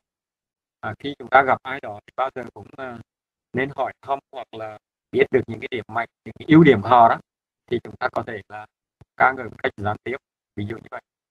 À, giả sử như thầy gặp các em thì có thể hỏi là học kỳ uh, một vừa rồi thì em đã có học bổng hay không? Ví dụ như vậy. Nếu có thì chúng ta lại khác rồi và nói chung là uh, khuyến khích cái sự học tập của các em bằng cái cách là chúng ta đạt được một cái điểm số rất là tốt trong cái học kỳ vừa rồi trong cái năm học vừa rồi. Nhưng mà uh, chúng ta không bao giờ học hỏi là uh, các bạn học lại mấy môn hay là thi lại mấy môn thì đấy là những cái điểm mà người ta bị hạn chế chúng ta tránh đi. Đặt mình vào cái điểm đối tượng mà cảm thông đồng cảm với họ. Và luôn mỉm cười với đối tượng. Đôi mắt để biểu thị tình cảm tức là một cử chỉ. Thông qua cái ánh mắt nụ cười trang phục à, có một điều tất nhiên là nó phụ thuộc vào cái tính cách của từng người. Nhưng giả sử như là thầy đi dạy thì thầy bao giờ cũng phải là có một cái bộ công lê cà vạt dạy nghiêm túc. Đấy là trang phục phù hợp à, mọi sinh viên hỏi tại sao thầy lại à, hay mặc những cái đồ nghiêm chỉnh như vậy thì trả lời là khi mình giao tiếp với ai đó mình muốn tôn trọng họ thì ít nhất là thông qua cái trang phục trang phục để mình hiểu được tức là à, cái đối tượng à, mình có thể tôn trọng họ qua cái này. Tất nhiên là tùy tính cách có người có thể là ăn mặc à, nó cũng không được à, chỉnh chu lắm nhưng mà tấm lòng của họ thì vẫn là cái người mà rất là tôn trọng người khác. Cái này thì tùy nhưng mà với tính cách của những cái người nào đó thì chúng ta có thể là uh, qua cái bộ trang phục để chúng ta uh, tôn trọng khi mà giao tiếp với cái đối tượng mà đang trực tiếp với mình. Đừng tiếc cái sự hào phóng nhiệt tình và có sự khôi hài dí dỏm. Nếu học ở trên lớp thì chắc là thầy sẽ kể rất nhiều cái chuyện để các em à, vui vẻ tiếp thu cái bài nó dễ hơn thông qua cái, những cái câu chuyện mà bìa như thật và câu chuyện thật như bìa ví dụ như vậy còn về phần kiềm chế đó, thì thầy nói luôn, tại thầy có à, nói với các em đó à, trong à, khoa học tâm lý thì người ta đưa ra ba cái trạng thái cơ bản sau đây, ba cái trạng thái. Và trong ba trạng thái đó thì các em nên chọn cái trạng thái nào để chúng ta khi giao tiếp, để rèn luyện cái khả năng tự kiềm chế giả sử có một cái câu hỏi ôn tập, thì em hãy nêu ba cái trạng thái cơ bản trong cái à, khả năng rèn luyện khả năng tự kiềm chế. À, tuy nhiên trong ba cái khả năng đó ba cái trạng thái đó thì em thích nhất là trạng thái nào? Câu hỏi này thì rất là dễ các em có thể nêu một trạng thái hai trạng thái ba và chúng ta có thể chọn một trong ba cái trạng thái đó. Nhưng mà thầy không nói là vì sao thầy không dạy vì sao là các em lại chọn một hai hoặc là ba. Mà các em phải tự liên hệ tại sao mình lại chọn cái này. Thì đấy là câu hỏi vì sao và cái này là cái riêng của từng cá nhân một riêng của từng cá nhân. Và khi mà thầy cô chấm bài ấy, thì chấm cái nét riêng cái độc đáo riêng của từng người đấy là suy nghĩ hay gọi là tư duy độc đáo riêng biệt của từng người. Thế còn cái đầu á, thì ba trạng thái nêu thì ai cũng nêu được. Chọn một cái thì ai cũng chọn được. Nhưng tả lời tại sao tại sao lại chọn cái này ấy? thì đấy là tư duy riêng biệt của từng người. Và cái chấm điểm cao hay thấp là chấm điểm về câu trả lời vì sao vì sao? Bản ngã à, phù mẫu phù mẫu đấy thì à, các em hiểu à, tiếng hán việt á cho nên là mẫu là mẹ, phù là cha. Hay là có cái trạng thái gọi là quyền đó gọi là quyền làm cha mẹ. Và khi mà được quyền làm cha mẹ thì có một cái quyền hạn, có một cái yếu thế nào đó trong giao tiếp đối với con cái, ví dụ như vậy. Chẳng hạn như là bố mẹ đối với chúng ta chẳng hạn, thì bố mẹ thường có những cái quyền nào đó ờ, để giúp cho, tất nhiên là đánh đập hay là chửi bới là vân vân thì đấy là những quyền của cha mẹ mới làm được. Thế còn với hàng xóm thì con hàng xóm thì bố mẹ không làm được. Đấy là quyền, gọi là quyền cha mẹ quyền cha mẹ. Tất nhiên em hiểu sâu hơn tí là bố mẹ mình bao giờ cũng muốn cho con cái nó tiến bộ, cho nên có thể là phải điều chỉnh bằng cách là dùng roi, dùng cái chửi được cái thế này kia, vân vân để làm giúp cho các em đó này tiến bộ hơn. Còn cái bản ngã thứ hai là bản ngã thành niên thì cái trạng thái bản ngã thành nên là cái mà người ta biết được, cái cân nhắc, suy nghĩ, lời nói trước khi là hành động, được hành động. Thì đây là một cái à, trạng thái mà ở cái người thành niên người ta gọi là đã à, à, phát triển ở mức độ dùng lý trí để chi phối tình cảm. Hay nói cách khác tức là người ta biết suy nghĩ một cách sâu sắc khi mà hành động được khi đưa ra hành động còn cái dạng thứ ba là bản à, ngã tính nhi đồng. Thì để trong một kép đó, thì chúng ta hiểu đó là bản à, non nớt. Nhi đồng ở đây gọi là non nớt. Ví dụ như vậy. Chúng ta gọi hay hay gọi là trẻ trâu ờ, sửu nhi sửu là trâu nhi là trẻ em. Thì gọi là suy nghĩ đang ở cái mức độ mẫu giáo vườn trẻ hay là mức độ nhi đồng chứ không phải là tuổi thanh niên thì đây là cái dạng ờ, có cái sự chi phối của cái ờ, cảm tính, đến lý tính, chứ không ngược lại như là cả lý tính chi phối sự cảm tính. Cảm tính ở đây tức là suy nghĩ còn hơi hợt, còn non nớt. Nói chung như vậy, trước khi đưa ra hành động. Trong ba cái trạng thái chúng ta nói trên thì trạng thái bạn thành niên là lý tưởng nhất. Và chúng ta có thể là tùy các em chọn. Nhưng mà theo thầy thì nên chọn cái ờ, trạng thái bạn thứ hai. Để khi mà chúng ta ra một cái phát ra một cái lời nói hay là phát ra một cái hành động một cái cử chỉ như thế nào đó thì chúng ta phải suy nghĩ cân nhắc đo để cẩn thận thì chúng ta mới là hành động. Rèn luyện khả năng kiềm chế thì à, trong bất kỳ trường hợp nào cũng phải duy trì cái trạng thái bản ngã. Thứ hai là thành niên. Thứ ba là thứ hai là biết bao dung và độ lượng à, trả lời vui vẻ các câu hỏi và các cái phẩm chất cần thiết trong giao tiếp thì gồm có thì các em có thể uh, ghi chép lại là phải tỏ cái thái độ ân cần ngay ngắn chuyên chú đỉnh đạt đồng cảm đồng cảm với cái đối tượng mình giao tiếp ôn hòa rõ ràng nhiệt tình nhất quán và khiêm nhường. Mỗi cái phần này thì à, thầy có giải thích ở đây các bạn. Các bạn có thể đọc qua một tí. Như thế nào là ân cần ngay ngắn chẳng hạn như là trang phục phải nghiêm chỉnh không mặc tùy tiền, áo rách quần rách thì vẫn là luồn thuộc đầu tóc rồi nói chung các thứ là không có chuẩn. Chuyên chủ là không làm việc riêng trong khi giao tiếp nhất là những cái việc mà mình à, đang học bài đó mà chúng ta lại làm việc riêng. Ở trên lớp thì à, có thể là thầy điều chỉnh được cái này các bạn. Tức là ví dụ như là nói chuyện riêng sử dụng điện thoại hay là làm việc riêng nói chung như vậy thì à, có thể là thầy điều chỉnh được. Nhưng mà học trực tuyến thì đấy là cái từ giác của các em từ giác các em để chúng ta có thể là uh, biết được cái nội dung cái chuyên đề hoặc là cái phần mà nó có thể là thầy giải thích cho các bạn. Đồng cảm tức là thể hiện cái à, tình cảm cảm xúc đúng lúc đúng chỗ. À, tức là hiểu hoàn cảnh của cái người mà mình đang à, đối diện để mình có thể là thông cảm với họ. Mình tỏ ra sự quan tâm của người đang giao tiếp. Ôn hòa.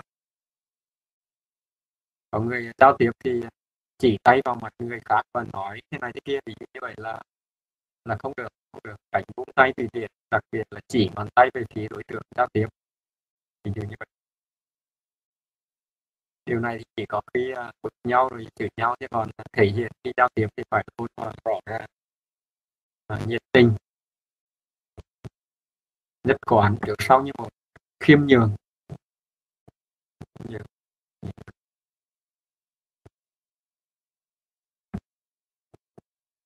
Đấy là về số cái, à, cái điểm nội dung mà chúng ta có thể là, là tham khảo thêm à, qua cái bài à, thầy đã gửi tóm tắt rồi. Kể từ ngày mai rồi đi thì chúng ta họp nhóm ở trên mạng họp tổ trên mạng để chúng ta có thể là thành lập một uh, thiết kế cái bài bài tập thứ nhất là giới thiệu nhóm và thứ hai là giới thiệu về bản thân mình. Cái bài tự chọn cũng tương tự như vậy mà thầy cho các em khoảng à, uh, 10 ngày 10 ngày để chúng ta làm các cái bài tập này. Riêng cái bài tập mà viết bài thu hoạch ấy, thì uh, thầy sẽ trao đổi lại một phần nữa để khi mà các em uh, viết cái bài này thông qua cái việc gọi là À, nhận xét về nội dung về phong cách về tất cả mọi điều để các em có thể là giúp thầy điều chỉnh à, cái phần à, giảng dạy cái học phần giao tiếp trong kinh doanh này nó ngày càng tốt hơn. Kể cả những cái điểm mạnh của thầy cũng như là điểm mà chưa được mà thầy trình bày với các em. À, sau đây thì à, chúng ta có thể nghỉ giải lao trong 10 phút. Sau đó chúng ta phải quay lại để chúng ta làm cái bài tập tiếp theo à, sau cái bài tập này thì thầy sẽ gửi cả hai cái phần à, bài tập hôm trước bài số 3 và bài số 4 này để cho lớp trưởng à, điểm danh hai cái phần này.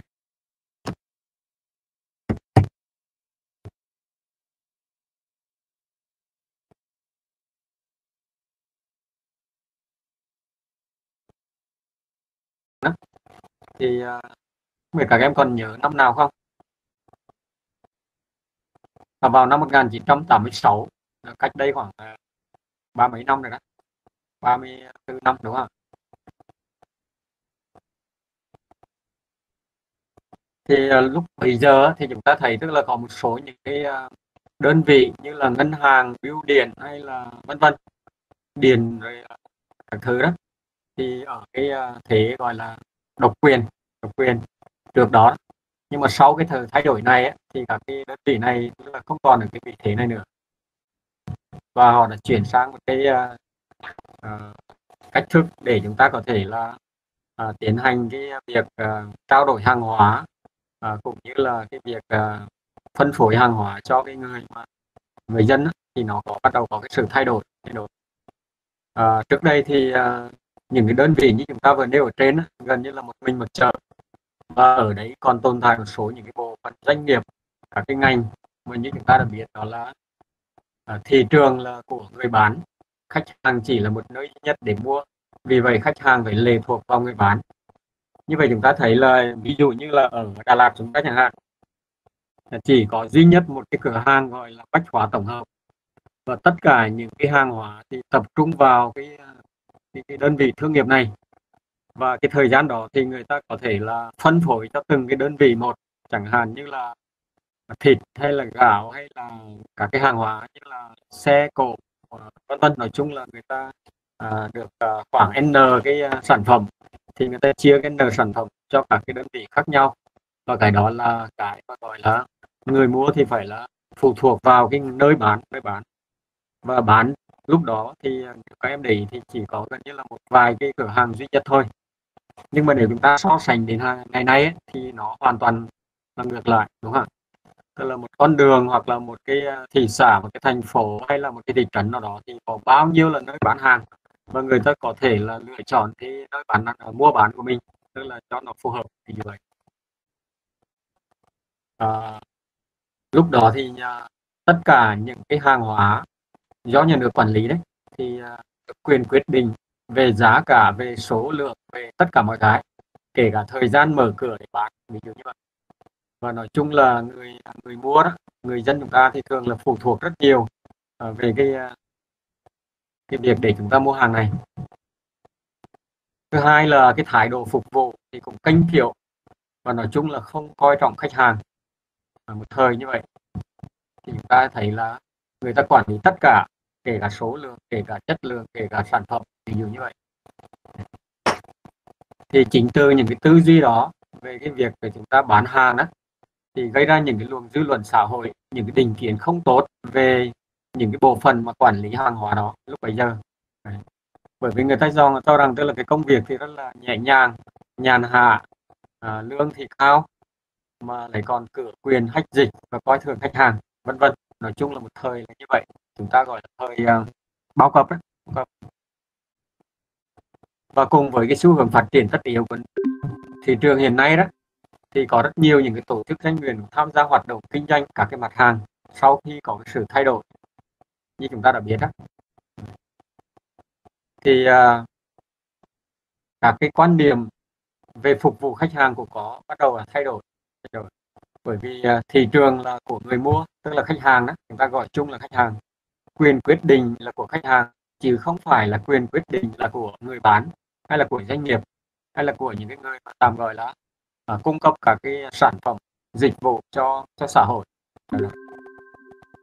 Giả sử như mà cái thái độ phục vụ mà không tốt ấy, thì chắc chắn người ta sẽ chuyển sang cái nơi khác người ta để mua à, chứ không phải tập trung vào một cái chỗ nào đó. Hoặc là chất lượng kém chẳng hạn thì người ta cũng có thể là à, chuyển sang một cái nơi khác để để người ta mua. Và lúc bấy giờ mà trước thời gian mà chưa thay đổi đổi mới đó thì cái chính sách chăm sóc khách hàng cũng rất là kém như chúng ta biết hiện nay thì à, có rất nhiều những cái nơi mà để người ta phục vụ khách hàng ví dụ như vậy. Do đó là khách hàng hiện nay thì có sự lựa chọn. Các em có thể uh, sử dụng à, Viettel, Mobifone hay là Vina vân vân nói chung như vậy. Uh, Mobifone hay Vina hoặc là Viettel thì tùy uh, nơi nào mà có cái, uh, cái, cái, cái, cái, cái khả năng mà phục vụ khách hàng tốt nhất hoặc là cung cấp những cái dịch vụ để phục vụ cho khách hàng mà tốt đẹp nhất thì người ta sẽ đến đó đến với cái, ờ, cái, doanh nghiệp đó. Như vậy là uh, trong một cái ờ, số dân nhất định nào đó thì bây giờ là sẽ bị giảm chia đều ra chia đều ra. Bởi vì người ta có thể là đến uh, cửa hàng doanh nghiệp A doanh nghiệp B hay là doanh nghiệp C đúng không ạ? Bởi vì cái đó nó ảnh hưởng trực tiếp đến cái uy tín cái thương hiệu của doanh nghiệp. Nếu giả sử phục vụ không tốt hoặc là chất lượng kém hay là thế nào đó thì người ta sẽ chuyển sang một cái doanh nghiệp khác. À, chẳng hạn những cái màng của thầy đấy chẳng hạn thì trước đây thầy dài cái màng khác chẳng hạn như vậy. Nhưng bây giờ trong cái khoảng thời gian nó sai đó thì cái thái độ phục vụ này rồi cái uh, cung cấp cái, cái còn liên quan đến cái uh, phục vụ cái màng này đó nó không được như ý cho nên là chuyển sang một cái màng khác nó tốt hơn ví dụ như vậy.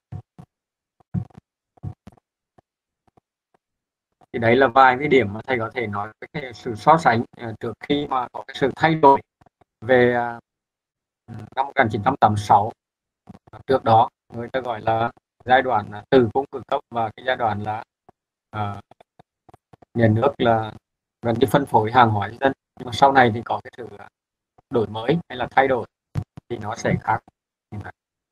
Như vậy thì chúng ta có thể kết luận rằng tức là giao tiếp với khách hàng là rất quan trọng và để đem lại ví dụ như doanh thu cho một cái doanh nghiệp một cái lợi nhuận à, vân vân thì chúng ta phải có những cái uh, chiến chiến lược để chúng ta là uh, đến với khách hàng đến khách hàng. Và lúc đó thì chúng ta sẽ đạt được những hiệu quả tốt nhất trong kinh doanh kinh doanh. Quan điểm này thì phải được thể hiện trên các cái nguyên tắc sau đây các cái nguyên tắc sau đây đặc biệt là các em là dân học và quản trị kinh doanh. À, thầy uh, hay nói vui với sinh viên là thầy hay dùng cái từ uh, dân luật dân kinh tế dân kế toán à, vân vân dân công nghệ thông tin. Thì để cho nó gần gũi hơn và nó cũng thân tình hơn nên là cho phép thầy dùng cái từ gọi là các cái lớp uh, liên quan đến cái ngành nghề của mình ngành học của mình. Vậy thì trước hết là cái khách hàng là phải được đặt ở cái vị trí trung tâm trong toàn bộ cái hoạt động sản xuất kinh doanh của doanh nghiệp. Sau này các em có thể mở những cái uh, công ty hay là những cái doanh nghiệp công ty trách nhiệm hữu hạn ờ, vân vân thì chúng ta phải chú ý đầu tiên đó là đến khách hàng. Sau này chúng ta sẽ nói về cái ờ, chăm sóc khách hàng nữa. Và cái doanh nghiệp đó hay là cái công ty đó cái xí nghiệp đó cái cơ quan đó là phải tập trung vào nỗ lực của mình để cố gắng thỏa mãn tất cả những cái gọi là cái nhu cầu mà khách hàng đưa ra. Khách hàng đưa ra. Chẳng hạn như nhu cầu về uh, mua sắm đi lại hay là trực tiếp online hay là vân vân. Nói chung là những cái thỏa mãn những cái bước tốt nhất phục vụ khách hàng. Và để xây dựng được cái mối quan hệ khách hàng này thì cần phải chú ý các cái quan điểm sau đây. À, thầy có thể lấy một số cái à, yếu tố thì các bạn có thể tham khảo thêm thứ nhất là phải coi trọng khách hàng lấy mục tiêu làm cho khách hàng là hài lòng để phấn đấu. Tức là cái nhu cầu mà khách hàng cần thì mục tiêu mà nhu uh, khách hàng cần thì cái đó chúng ta phải làm đưa lên hàng đầu để làm cái hài lòng của khách. Thứ hai là khách hàng thì ai cũng là cái người quan trọng cả bởi vì chúng ta không uh, kinh doanh chỉ nhằm cho họ mua một cái số mặt hàng mà thái độ khách hàng đương nhiên là quan trọng nhất. Ba là khách hàng luôn luôn đúng. À, chúng ta hay có cái câu vui là à, khách hàng là là thượng đế đó là khách hàng là số một. Khách hàng có thể sai nhưng chúng ta không được vạch ra cái sai của khách hàng không vạch ra khách hàng. Điều một nếu em sai thì xem lại điều hai là thế nào đó thì chúng ta thường là điều một là luôn luôn khách hàng luôn luôn đúng điều hai mà nếu em sai thì phải xem lại điều một. Tức là chúng ta phải giải thích một cách nhẹ nhàng đúng không ạ? Để làm cho cái à, nâng cái tầm của cái khách hàng lên và đồng thời phải giữ thể diện cho khách hàng dù họ có thể là là sai. Có một lần thầy đi dạy một cái lớp uh, kế toán tại uh, Bảo Lộc. Lúc đó khoảng 147 à, người 147 thì có rất nhiều người làm trong ngân hàng ở trong cả cái kho bạc à, vân vân. Nói chung là các anh chị đó là lớn tuổi rồi à, bốn năm chục tuổi đó. Thì uh, họ nói rằng tức là nhiều khi họ đến họ quát tháo nhân viên nhân hàng rồi các thứ. Mà sau đó ra đi về khoảng uh, chưa đến bảy giờ xe thì họ quay lại họ xin lỗi họ xin lỗi là họ đã sai ví dụ như vậy. Nếu một khách hàng bị chúng ta vạch ra cái sai thì khách hàng sẽ không bao giờ đến với chúng ta nữa. và nếu thẳng khách hàng bằng tình chứ đừng thẳng khách hàng bằng lý tức là bằng cái, cái tình nghĩa giải thích cho họ thì họ sẽ có có thể chấp nhận nhận hơn khi mà thắng họ bằng cái mình cái điểm thứ tư là khách hàng mang ơn hề đến chúng ta chứ không phải chúng ta mang ơn hề đến cho họ như vậy nếu chúng ta hiểu á thì khi chúng ta bán được rất nhiều những cái sản phẩm cho ngân à, cho, cho cho khách hàng thì chúng ta thu lại rất nhiều những cái à, lợi nhuận trong đó. Và chính cái lợi nhuận này thì lại trả lương cho nhân viên của chúng ta.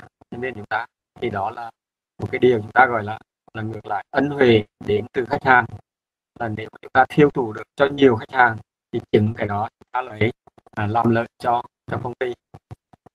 Thứ năm là vì khách hàng hiện tại và tương lai của khách hàng khi họ chọn mua hàng của, của bạn. Như vậy là chúng ta sang cái phần sau thì thầy có một cái ví dụ, tức là chúng ta để làm mất đi một khách hàng, mất đi một khách hàng, thì chúng ta sẽ thiệt bao nhiêu? Và chúng ta đưa về cho mình được một cái khách hàng thì chúng ta có lợi bao nhiêu? Có lợi bao nhiêu? Để xây dựng tốt mối quan hệ với khách hàng thì cần lưu ý các cái bước sau đây. Bước sau đây. Thứ nhất là cần phải nhớ tên tuổi, địa chỉ của họ để cho họ có cái cảm giác, tức là khách hàng được quan tâm khách hàng được quan tâm ví dụ như vậy. Vậy chúng ta hiểu rằng là nếu nhớ được một ai đó thậm chí là địa chỉ của họ nơi ở hay là như thế nào đó đó thì họ thấy là thì doanh nghiệp đó thực sự là quan tâm đến họ quan tâm đến họ. À, cũng lâu lắm rồi chắc cũng khoảng vài vài hơn vài chục năm á thầy dạy A tầm B cũng vô tình khi ra chơi đó thì uh, nói chuyện với một vài bạn và có hỏi thăm về uh, họ và tên lớp học bởi vì hồi đó là học, học chung ví dụ như văn sử sinh học học một lớp quản trị kế toán học một lớp rồi luật học về du lịch học một lớp vân vân. Nói chung là lúc đó học rất là đông cả một cái hội trường khoảng ờ, mấy trăm em. Và sau này thì khi ra trường á thì bạn có cái ấn tượng rằng là không ngờ thầy lại nói chuyện và hỏi thăm ờ, bọn em và hỏi thăm về ờ, hoàn cảnh gia đình rồi họ và tên này, rồi quê quán này, rồi cái nguyện vọng khi ra trường vân vân mà bọn em nhớ mãi cho đến bây giờ khi ra trường đã có gia đình có một hai đứa con rồi ví dụ như vậy. Và người ta ấn tượng mãi về cái sự uh, quan tâm này.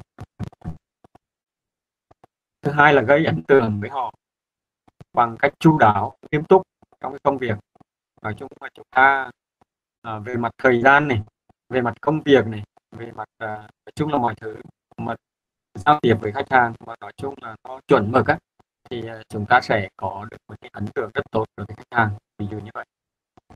À, thầy lấy ví dụ ờ, bên ngoài thôi nhưng mà giả sử như là hàng ngày chúng ta lên lớp à, luôn luôn đi sớm không chậm phút nào ví dụ như vậy. Và lên thì tất cả mọi cái dụng cụ mọi tất cả máy móc thì đã hoàn chỉnh và nội dung thì đã chuẩn bị sẵn.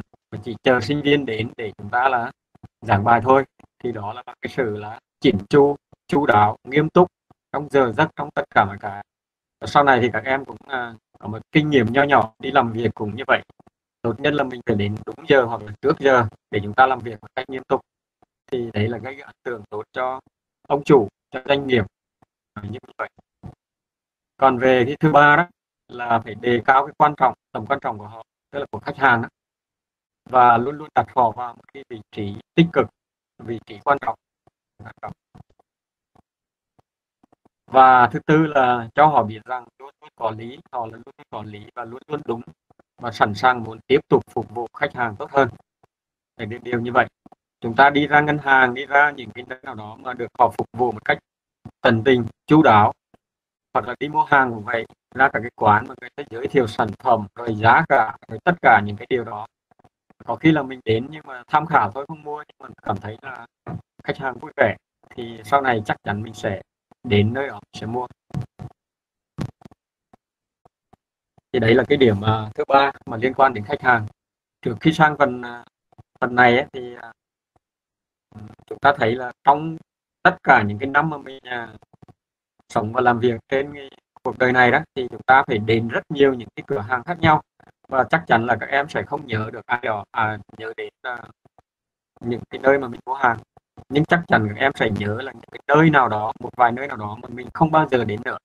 Thì đấy là cái điều mà chúng ta suy nghĩ bởi vì sao? Bởi vì nơi bạn đó là không vui vẻ hoặc là không thoải mái, nói chung là có cái gì đó mà khách hàng không chấp nhận được thì người ta sẽ không quay trở lại quay trở lại. Cái điểm mà thứ tư là các cái dấu hiệu về quan hệ với khách hàng.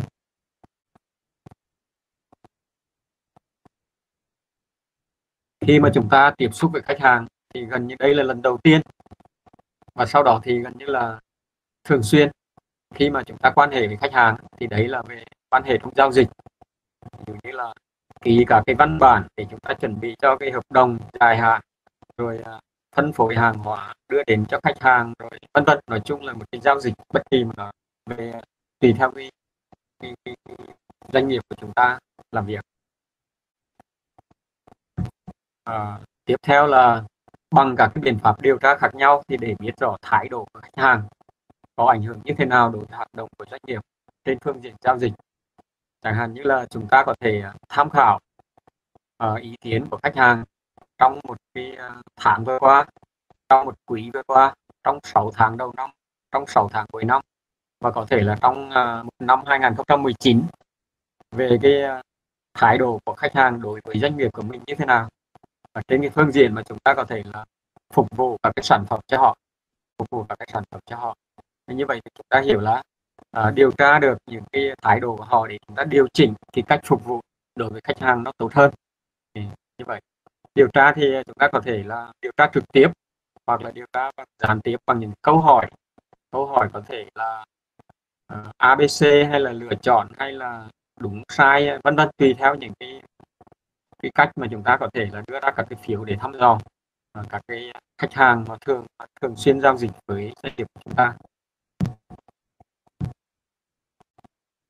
Các cái tiêu chí để tiến hành thì chúng ta có thể đưa ra là một là cái số lượng khách hàng đến giao dịch với doanh nghiệp chúng ta là như thế nào. Chẳng hạn như là tháng 1 vừa rồi, tháng 2 vừa rồi, tháng 3 vừa rồi, hoặc là quý ba, quý 1 vừa rồi hôm nay là tháng tư chẳng hạn thì chúng ta quý một là xem thử cái khách hàng đến giao dịch là so với cùng kỳ năm ngoái là tăng hay là giảm tăng hay là giảm về mặt số lượng ví dụ như vậy. Chẳng hạn như là doanh nghiệp chúng ta có thể đã làm việc trong 10 năm thì hàng năm như vậy chúng ta có thể lấy một cái uh, mốc thời gian nhất định quý 1 của năm sau so sánh với quý 1 của năm trước. Hoặc là 6 tháng của năm sau so sánh với 6 tháng năm trước để chúng ta biết được số lượng giao dịch như thế nào tăng hay giảm. Điểm thứ hai là chúng ta có cái sự so sánh. Tức là các cái tiêu chí này là so sánh xem thử là hàng tháng, hàng quý hay là hàng năm thì có những cái à, khách hàng khiếu nại như thế nào? Hoặc là thậm chí có những cái tháng nào đó, quý nào đó hoặc là năm nào đó mà có thể bị hủy bỏ các cái hợp đồng mà đang làm ăn với chúng ta, đang làm ăn với chúng ta. Điểm thứ ba là tình hình thông tin phản hồi từ bộ phận thực hiện các cái hợp đồng với khách hàng. Ở trong một cái cơ quan trong một xí nghiệp trong một doanh nghiệp làm ăn thì thông thường người ta chia ra các cái phòng chức năng hoặc là các cái bộ phận để chúng ta làm việc với khách hàng. Trong đó có cái bộ phận chức năng đó là thực hiện các cái hợp đồng. Thì chúng ta có thể à, biết được các cái thông tin này để biết được tức là hàng tháng hàng quý như vậy năm trước năm sau cái nào đó thì cái tình hình đã uh, nó có cái sự so sánh, tăng giảm thế nào? Thứ hai là tăng tăng trưởng doanh thu hàng năm hay là hàng quý, hàng tháng? Doanh thu chúng ta quý 1 của năm 2020 là từ tháng 1 tháng 2 tháng 3 so với tháng 1 tháng 2 tháng 3 của cái quý 1 năm 2019 như thế nào? Ví dụ như vậy. Hoặc là số lượng các khách hàng quen, các khách hàng lớn của doanh nghiệp như thế nào? Rồi điều tra về số lượng giao dịch trên thực tế với số lượng giao dịch đi đến kết quả mong muốn. Chẳng hạn như trên thực tế thì có khoảng một số cái giao dịch là số lượng như thế này nhưng mà trên thực tế đến kết quả như chúng ta mong đợi đó thì đó có một số có thể là là chênh lệch. Thời gian để thực hiện uh, các cái giao dịch tương tự tăng lên hay giảm đi tức là chúng ta có thể có cái sự so sánh Ờ, uh, giữa cái ờ, tháng này với tháng khác hoặc quý này với quý khác hoặc năm trước hay là năm sau. Và ngoài ra thì còn những vấn đề vướng mắc hay là gặp phải khách hàng trong cả cái lần giao dịch là gì? Tức là trong cả cái lần giao dịch cả cái hợp đồng rồi làm ăn với khách hàng đó thì ờ, chúng ta có những điều gì đó mà có thể là khúc mắc giữa khách hàng với doanh nghiệp? Ví dụ như vậy và chúng ta nhìn cái cái đó thì à, chúng ta phải điều chỉnh ngay để phù hợp với cái, à, cái mong muốn cái mong đợi của, của khách hàng. Chẳng hạn như là về thái độ không hòa nhã cung cấp và thiếu thông tin cho khách hàng à, sự băn khoăn về các cái yếu tố pháp lý chẳng hạn như là nó nó chưa phù hợp với cái pháp lý của nhà nước Việt Nam quy định chẳng hạn như vậy. Hoặc là không sẵn sàng tiếp tục trong công việc chẳng hạn như là để hợp đồng rồi mà chúng ta chưa xong thì không sẵn sàng làm việc này thì cũng phải điều chỉnh. Hoặc là không tiếp tục hợp tác từ phía khách hàng. Ví dụ như vậy thì chúng ta phải tìm các cái nguyên nhân làm sao để chúng ta điều chỉnh cho nó phù hợp. Ví dụ như vậy. Cái thái độ không hòa nhã ở đây thì đấy là về phía trách nhiệm của công ty là việc thì chúng ta đối với khách hàng, đối với khách hàng. Ví dụ như vậy. Chẳng hạn như là chúng ta đến à, ngân hàng thấy à, nhân viên mà vui vẻ hòa nhã thoải mái. Và nói chung là tất cả những cái thông tin được cung cấp đầy đủ thì chắc chắn là sẽ có sự bằng lòng đối với khách hàng đối với doanh nghiệp đó đối với ngân hàng đó đối với kho bạc đó à, vân vân. Chung như vậy. À, cái thái độ này thì rất là quan trọng. Người ta có thể là quay lại hay là bỏ đi ví dụ như vậy.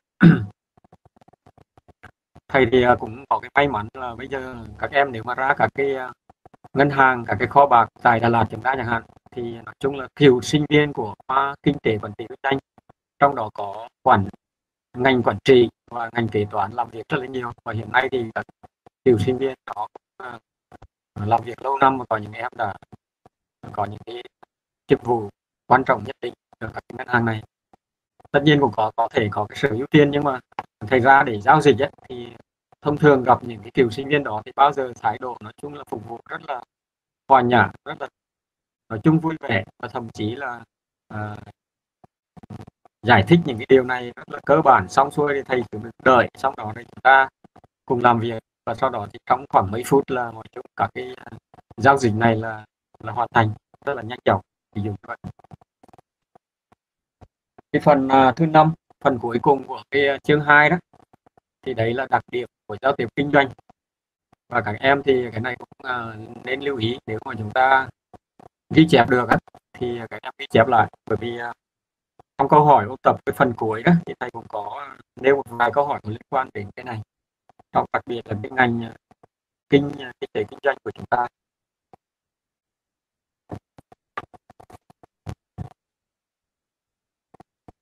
Trong kinh doanh thì ờ, có các cái loại giao dịch chẳng hạn như là về bán hàng marketing. Thì cái này là chúng ta liên quan đến quảng cáo cho cái sản phẩm của chúng ta. Rồi về ờ, các cái giao dịch như là để thương lượng ờ, để chúng ta có thể ký kết một cái hợp đồng nào đó. Mới không biệt khoa chúng ta đã thông à, đã đã triển khai chưa? Đó là chúng ta đang chuẩn bị chấm cái điểm rèn luyện học kỳ một năm học 2019 2020 hình như khoảng cuối tháng tư này là phải hoàn chỉnh. Cho nên các em phải nắm được các thông tin này, nếu không thì mình sẽ mất quyền lợi, mất quyền lợi.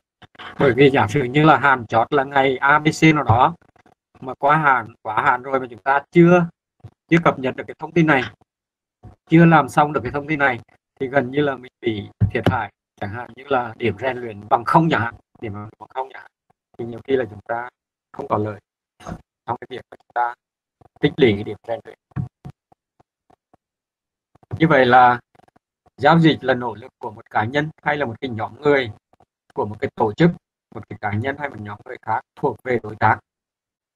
Và tất cả những thành viên trong một cái cơ quan trong một xí nghiệp. À, thầy vừa nói xong là ví dụ chúng ta là có khoảng 20 khoa phòng với ờ, 10 phòng tất nhiên các cái bộ phận à, công tác tổ chức của đảng, chính quyền, ban giám hiệu vân vân thì để chỉ đạo tất cả các hoạt động này. Thì tất cả những người đó phải có cái sự nỗ lực để chúng ta có thể là hoàn chỉnh được một cái gọi là cái nhiệm vụ chính trị quan trọng của một cái cơ quan, một cái xí nghiệp, một cái doanh nghiệp nào đó. Và điều này thì tất cả những cái người tham gia vào cái các cái quá trình này phải biết được và phải hiểu được cái nghệ thuật trong giao tiếp và ứng xử, trong cái ứng xử à, chúng ta có rất nhiều những cái cái cuộc giao tiếp khác nhau ở những cái phòng chức năng khác nhau ở các cái khóa khác nhau. Nhưng mà nếu chúng ta biết uh, giao tiếp một cách mềm dẻo linh hoạt ứng xử một cách nó tốt đẹp thì công việc có thể nó tốt đẹp hơn. Còn nếu mà chúng ta nó cứng nhắc hoặc là chúng ta nó không tuân thủ một cái điều mà theo quy định ấy, thì nhiều khi nó uh, hạn chế. Những đòi hỏi nguyên tắc trong giáo uh, trong trong trong cái giao tiếp á thì những yêu cầu của hoạt động giao dịch là bao gồm thứ nhất là phải có cái tính nhất quán và đây chúng ta đưa ra một cái à, cái sự thống nhất nào đó với nhau thì từ trước hay đến sau hay là từ đầu đến cuối thì phải là, là thống nhất. Hay gọi chung là nhất quán nhất quán nhất quán tức là thống nhất từ trước trước và sau và nhất quán từ đầu đến cuối, theo một cái quan điểm rõ ràng, ấn định trước. Và trong cái quá trình đó thì chúng ta có thể có cái sự thương lượng để điều chỉnh cho nó phù hợp. Chẳng hạn như là cả cái hợp đồng thì bao giờ người ta cũng ờ, ghi rõ, tức là nếu có những cái gì đó bổ sung thì chúng ta sẽ bàn bạc với nhau, thống nhất với nhau. Và sau đó thì chúng ta có thể là có cái điều chỉnh, thì người ta gọi chung là linh hoạt trong các cái hoạt động giao dịch chẳng hạn như là giá cả à, trước là 10 đồng bây giờ thì có thể là à, giảm giá là 9 đồng rưỡi hay là tăng giá là 10 đồng rưỡi. Thì tùy theo cái pháp chúng ta có thể là, là thống nhất với nhau thống nhất với nhau để chúng ta là à, khi giao dịch thì nó đã có cái à, văn bản nó linh hoạt và hiện chuyển rồi. Tiêu chỉ thì rõ ràng à, một hai ba và nói chung là phải à, chuẩn. Phải có cái nền tảng văn hóa giao dịch hay là giao tiếp với nhau. Tức là giữa văn hóa công ty A và văn hóa công ty B đúng không ạ? Thì có một cái sự gọi là đồng nhất và thống nhất với nhau. Để giao dịch có thành công hay là phụ thuộc rất nhiều vào người tiến hành một công việc. Tiến hành công việc. Đó chính là phẩm chất và trình độ nghệ thuật giao tiếp ứng xử chứ không phải là người thông hiểu về nghiệp vụ. Như vậy chúng ta hiểu ở đây tức là cái người mà làm công tác này thành công hay không thì ngoài cái cái, cái, cái nghiệp vụ của mình tức là về chuyên môn thì cái này phải nắm vững rồi. Còn cái rất quan trọng đó là giao tiếp ứng xử. Và người ta có thành công hay không thì ngoài cái nắm vững chuyên môn nghiệp vụ của mình rồi đó, thì cái gọi là quá trình trao đổi ứng xử, giao tiếp với khách hàng thì rất là quan trọng. Và điều này thì phải à, xuyên suốt trong hết cả cái quá trình giao tiếp và giao dịch và có thể đem lại những cái kết quả có lớn cho doanh nghiệp. Ví dụ như vậy. Một lời chào nhiều khi là cao hơn mong cổ.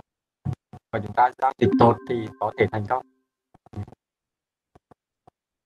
À, như chúng ta biết tức là tất cả các thành viên tham gia vào trong cái bộ khung á, tức là bộ khung của doanh nghiệp á, từ các cái bộ phận chức năng phòng A phòng B hay là vân vân nói chung là tất cả các phòng chức năng. Chẳng hạn như ở trường ta thì gồm có khoảng 10 cái phòng chức năng như vậy thì phải có cái sự nỗ lực phấn đấu của tất cả các thành viên. Thì đó là kết quả cuối cùng mà người ta có thể là uh, chấp nhận được hay là khách hàng chấp nhận được để có cái đồng bộ đồng bộ trong cái việc tức là đưa ra để có những cái uh, kế hoạch chúng ta làm việc với khách hàng giao tiếp khách hàng cho nó tốt hơn. Có thể nói sự hiểu biết về giao tiếp ứng xử trong kinh doanh là hạt nhân của sự thành công trong công tác à, các loại giao dịch. Và cái điều này thì à, một lần nữa khẳng định rằng tức là giao tiếp rất là quan trọng khi mà chúng ta có cái sự giao dịch giao tiếp với khách hàng. Thì đấy là vài cái à, cái điểm mà các em có thể là tham khảo thêm tham khảo thêm để uh, dựa trên cái, cái cái văn hóa tổ chức của một cái doanh nghiệp nào đó ví dụ như vậy. Và thứ hai là các cái phẩm cách tức là phẩm chất và nhân cách của cá nhân trong cái việc chúng ta thực hiện cái việc uh, giao dịch đối với khách hàng. Các cái hình thức giao dịch khác nhau để đòi hỏi hình thức và phẩm chất giao tiếp ứng xử cũng khác nhau. Chẳng hạn như là các cái bản hợp đồng giữa công ty này với công ty khác hoặc là giữa doanh nghiệp với các cái khách hàng hợp đồng mua bán như thế nào đó ví dụ như vậy. Thứ hai là những cái bản phúc đáp tức là trả lời với khách hàng hoặc là trả lời các cái doanh nghiệp mà chúng ta đã làm các cái hợp đồng tương ứng. Và quảng cáo quảng cáo này thì nếu các em để ý thì ở bên Mỹ ấy, thì người ta chi cho cái ờ, quảng cáo rất là lớn. Tức là trên cả cái phương tiện truyền thông của cả nước chẳng hạn như là uh, báo hình tức là trên TV đó báo nói là đài phát thanh rồi là bên báo viết là các cái loại báo mà chúng ta xuất bản nhật báo hàng ngày hay là tuần báo? Hoặc là có khi hai ba ngày chúng ta xuất bản một lần đó tức là báo viết đó, báo viết. Rồi là báo hình tức là trên truyền hình TV à, vân vân nói chung là tất cả các loại hình báo hình báo nói có viết thì chúng ta sẽ sẽ quảng cáo. Mà nếu em để ý thì cái việc quảng cáo này ở trên các cái phương tiện truyền thông này cũng không phải là rẻ chẳng hạn như vậy. Xuất hiện khoảng à, 10 đến 20 giây hoặc 30 giây thì bao nhiêu tiền? Trên báo viết chẳng hạn như là một uh, cuốn báo xuân mà chúng ta quảng cáo trên cả một cái trang gọi là tăng nhất chẳng hạn thì có thể lên tới uh, giá cả như vừa rồi thì lên tới khoảng 16 triệu trên một trang nửa trang thì 8 triệu một phần tư trang thì 4 triệu một phần 8 trang thì 2 triệu. Như vậy là trên cả cái phương tiện đó là báo viết. Còn báo hình ấy, thì có thể hoặc là báo nói và nói là đài phát thanh. Thì ờ, mức quảng cáo rất là cao hoặc là phạt cả cái tờ rơi nếu các em để ý thì uh, sinh viên ở đây thầy cũng hay gặp một số bạn sinh viên đi làm thêm á. Chúng ta có thể uh, phạt một ngày như vậy là khoảng mấy ngàn cái tờ rơi. Chẳng hạn như vừa rồi à, thầy mới nhận được uh, các cái uh, tờ rơi thông báo của Bixi chẳng hạn Bixi và nhiều khi chúng ta nhiều người không quan tâm nhưng có người thì người ta cũng rất là quan tâm về các cái tờ rơi này và người ta đọc các cái thông tin. Và cái hình ảnh tờ rơi thì các em biết tức là à, có thể người ta nói rằng là cô hay chú cầm lấy rồi đọc cho vui. Thì mình cũng cầm đọc cho vui nhưng thực ra thì khi đọc rồi ấy, thì có những cái sản phẩm ấy, là mình cần thiết. Và như vậy trên cái quảng cáo đó thì có thể là liên hệ với cửa hàng với doanh nghiệp với các cái nơi mà sản xuất ra các cái sản phẩm đó để mình à, để mình mua về theo cái nhu cầu của từng cái cá nhân cụ thể chẳng hạn như vậy. Một cái tập tờ rơi của quảng cáo của Bixi chẳng hạn dày khoảng 10 15 trang như đó thì mỗi người như vậy chỉ đọc lướt qua và người ta chỉ chú ý đến một vài sản phẩm. Và hàng ngàn người như vậy thì chú ý đến hàng ngàn sản phẩm và chắc chắn là người ta sẽ có lợi trong việc là tiêu thụ sản phẩm cho họ. Trình bày hàng hóa sản phẩm thì cái này là về mặt hình thức. Hình thức tức là phải à, bắt mắt, tức là phải màu xanh đỏ tím vàng phù hợp với cái sản phẩm. Và cả cái triết lý kinh doanh của của cái doanh nghiệp đó như thế nào gọi là văn hóa kinh doanh và tất cả những cái điều đó thì chủ yếu là nhằm vào cái ờ, cái, cái thị hiếu người ta gọi là thị hiếu khách hàng. À, người thì thích mẫu mã người thì thích thương hiệu người thích màu sắc ờ, vân vân ví dụ như vậy. À, có dịp mà gặp các em thì các em có thể nhìn thấy cái tính cách của thầy là thích màu xanh chẳng hạn. Và như vậy thì à, luôn luôn chú trọng đến cái, cái cái mà sở thích của họ. Ví dụ vậy và cái đó là cái lâu dài và các cái sản phẩm đó có thể là đưa đến cho khách hàng một cách phù hợp nhất đối với các cái mục đích cũng như là các cái cái, cái, cái nhu cầu của họ. Nhu cầu của họ. Chúng ta có à, hai cái phần nữa. À, phần thứ nhất là ưu điểm của cái hình thức giao dịch trực tiếp.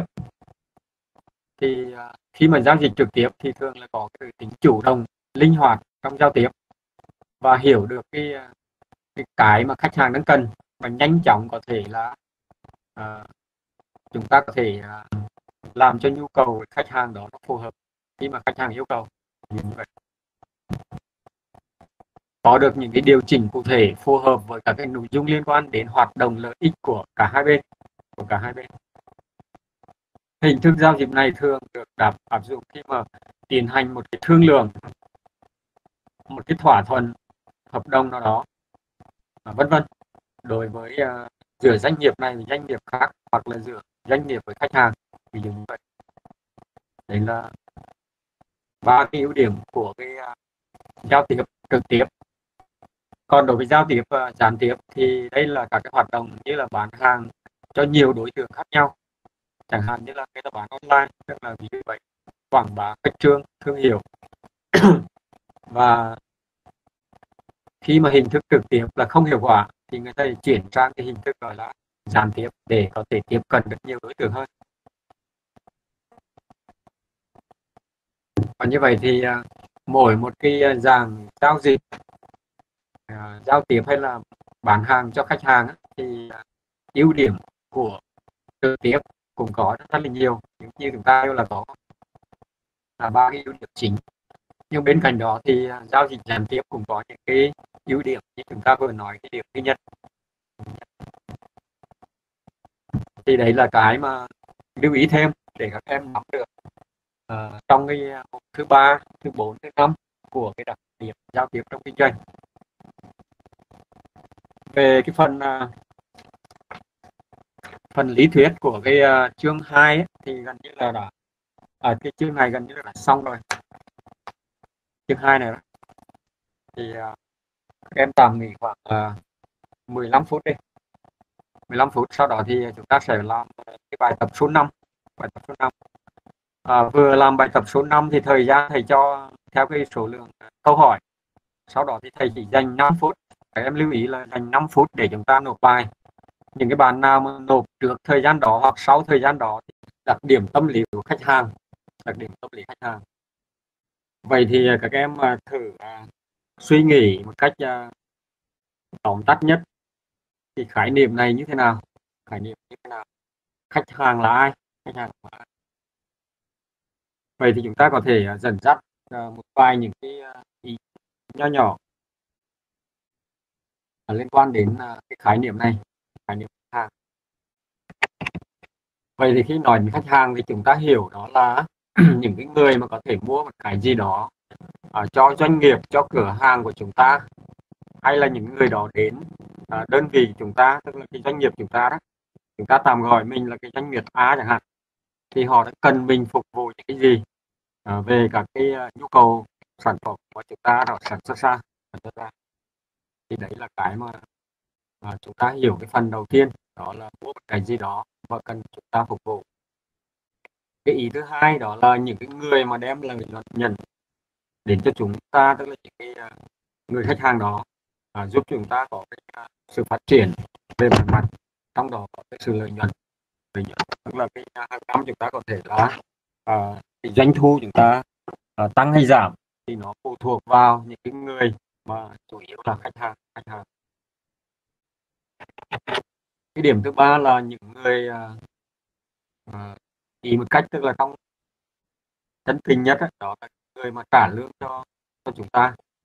Hay nói khác tức là những người đó mà họ tiêu thụ sản phẩm càng nhiều cho doanh nghiệp thì chính những cái ờ, lời đó hay là những cái doanh thu hàng năm hàng tháng hàng quý vân vân thì là giúp cho chúng ta để là trả lương cho nhân viên trả lương và có doanh thu và những cái ờ, mức ở mức cao đó thì chúng ta có thể thưởng cho cho họ cho nhân viên à, một cái ý thứ tư là khách hàng luôn luôn đúng. Thì cái này ờ, thì chúng ta đã giải thích rồi giải thích rồi. Cho dù họ sai nhưng mà chúng ta đừng bao giờ chỉ ra cái sai của họ bằng cái lý mà chúng ta phải chỉ ra cái sai của họ bằng cái tình tức là tình cảm. Và nếu mà chúng ta dùng cái lý trí thì nó là làm vẻ mặt khách hàng. Cái điểm tiếp theo đó là những người mà có quyền lựa chọn về cái sản phẩm mà chúng ta đưa ra cho họ.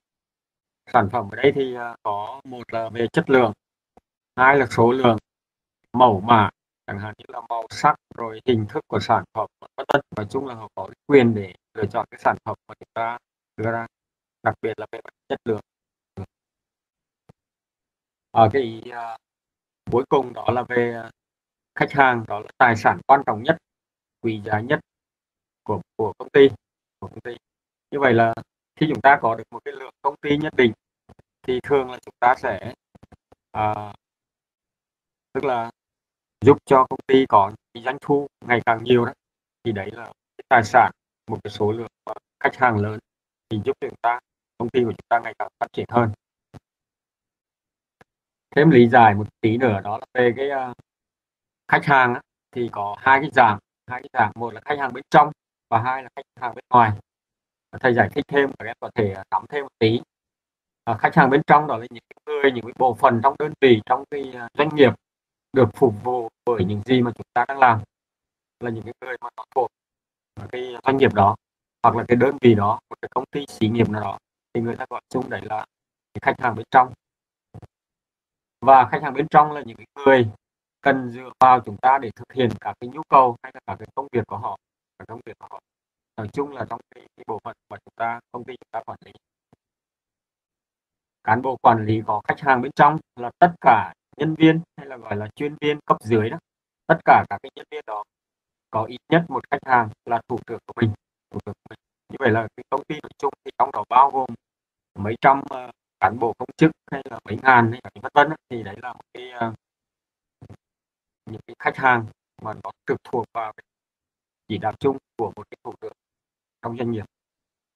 Còn khách hàng bên ngoài đó thì đấy là những cái cá nhân những cái cơ quan hoặc là những cái doanh nghiệp mà chúng ta thường là chung là đối tác đó, thì sử dụng cuối cùng các cái sản phẩm hoặc là các cái dịch vụ của chúng ta. Chẳng hạn như là chúng ta làm hợp đồng với các cái à, công ty xí nghiệp khác hoặc là các cái à, khách hàng lớn nhỏ khác nhau thì đó gọi là khách hàng bên ngoài khách hàng bên ngoài. Thì đấy là một cái à, khái niệm có liên quan đến cái chương thứ ba là đặc điểm tâm lý khách hàng này.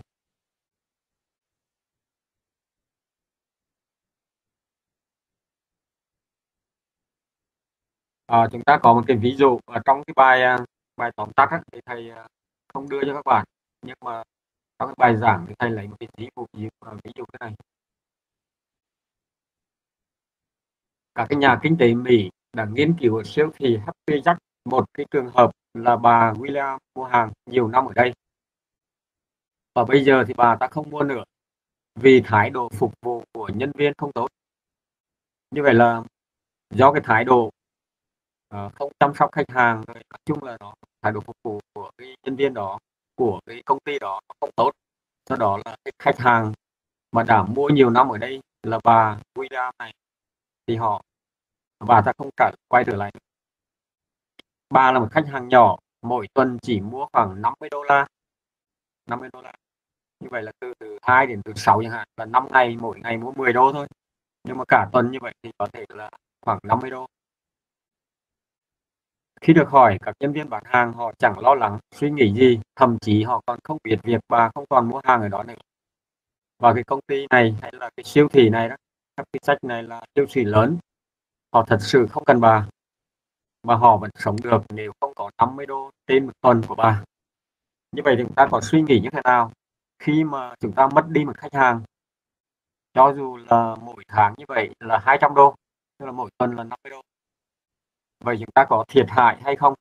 Thiệt hại không? Nếu để mất một khách hàng thì chúng ta mất bao nhiêu tiền? Thì cả cái nhà nghiên cứu, khuyên nhân viên bán hàng hay là những cái chuyên viên mà bán hàng thì cần hiểu biết đầy đủ các cái khí cảnh kinh tế của vấn đề như sau. À, riêng các bạn là cái uh, dân thầy nói tôi là dân kinh tế quản trị kinh doanh đó, thì các bạn rất là hiểu biết về cái khía cạnh này. Việc này khi mà chúng ta đã mất đi một cái khách hàng khách hàng. Nếu một tuần mà bà này mua của chúng ta 50 đô thì một năm số tiền sẽ là 2.600 đô. 2.600 đô. Chúng ta có thể nhận lên là 52 tuần. Và 10 năm thì sẽ là 26.000 đô. Hiện nay thì đô khoảng 2.300 2.400 gì đấy. Các em có thể nhận lên. Và rất có thể là mua siêu thị đó suốt đời. Như vậy là 10 năm thì có thể chúng ta mất đi khoảng 26.000 đô. Nhưng mà bà ta sống khoảng 80 tuổi hay 70 tuổi thì có thể là chúng ta mất khoảng 50 năm. 50 năm và bà ta đang mua ở đây thì nhân lên với khoảng 10 năm và 26 ngàn đô thì 50 năm là bao nhiêu? Và một cái điều mà chúng ta cần phải suy nghĩ đến đó là không chỉ mất đi một khách hàng, không chỉ mất đi một khách hàng, mà chúng ta lại còn mất đi nhiều khách hàng khác nữa. Vì sao như vậy? Vì sao như vậy? Bởi vì bà uh, này là không hài lòng là chỉ một cá nhân thôi. Vì làm này là không hài lòng đối với cái ờ, siêu thị của chúng ta doanh nghiệp của chúng ta. Và bà ta chỉ nói với khoảng 10, 11 người, 20 người, 50 người tùy theo. Nhưng mà chúng ta lấy con số ờ, tạm gọi là nói thêm với 11 người nữa. 11 người. và 11 người này lại nói cho 5 người nữa tức một người nói với 5 người nữa là thành con số là 55 người. 55 người. Và tổng số người mà biết được cái sự không hài lòng đối với cái siêu thị đối với doanh nghiệp chúng ta là lên tới khoảng 1 cộng 11 cộng với 55 bằng 67 67 người. Như vậy là tính sơ sơ là khoảng từ 50 đến 100 người là chúng ta thấy là, là thiệt thiệt rồi. Nếu mà bà này nói với ít người hơn á, thì con số này có thể nhỏ hơn. Nhưng mà nói với nhiều hơn thì con số này lại càng lớn hơn, càng lớn hơn. và giả sử chỉ có một phần tư, tức là hai phần trăm của 67 người quyết định không mua hàng ở siêu thị đó nữa, có nghĩa là chúng ta lấy 67 chia 4 ra, chia 4 ra thì có khoảng 17 người, tức là tương tự khoảng à, 17 người. Mỗi người cũng mua mỗi tuần như vậy là 50 đô la. 50 đô la. Vậy thì số tiền sẽ là 17 người nhân với 2.600 đô trên năm nhân với 10 năm. Và tương tự như vậy thì chúng ta mất đi khoảng 442.000 đô trong một năm trong một năm à, trong 10 năm trong 10 năm của 17 người này. Tức là họ không quay lại với chúng ta. Và theo cả cái nhà kinh tế tính toán thì để chúng ta giữ được một khách hàng để giảm giá các cái mặt hàng các cái sản phẩm để khuyến mại các cái sản phẩm mà chúng ta đã đưa ra thị trường. Bằng cách một là giảm giá hai là khuyến mại bằng cách cộng thêm một cái gì đó chúng ta có thể mua ba được tặng một vân vân thì chỉ cần khoảng 19 đô la là giữ một khách hàng. Để thu hút một khách hàng mới thì, phải cần đến 118 ngàn đô à 118 đô. Như vậy là con số này là nhân lên khoảng gần 20 20 lần. Như vậy thì chúng ta hiểu là khi có một cái ờ, khách hàng cụ thể rồi mà chúng ta giữ lại và giảm giá và khuyến mãi cho họ thì cần khoảng thấp xỉ 20 đô, thậm chí 20 đô. Nhưng mà để thu hút một khách hàng mới đó thì lại cần đến khoảng 120 đô, gấp 6 lần thì xin lỗi là gấp 6 lần của một cái dự khách hàng như vậy là kéo về một cái khách hàng mới ấy, thì cái số tiền nó rất là cao. Và chi phí thu hút 17 khách hàng mới thì lại cần đến khoảng 2.006 đô. 006 đô. Và tổng cộng số tiền á, là 26.000 đô cộng 442.000 đô cộng với 2.006 đô là bằng khoảng 470.000 đô. Vậy là gần 500.000 đô. Như vậy chúng ta thiệt hại Ờ, cho khoảng ờ, 17 khách hàng cộng với những cái người mà chúng ta đạt được đó không quay đến với doanh nghiệp nữa đó, thì mỗi 10 năm như vậy là chúng ta thiệt hại gần nửa triệu đô.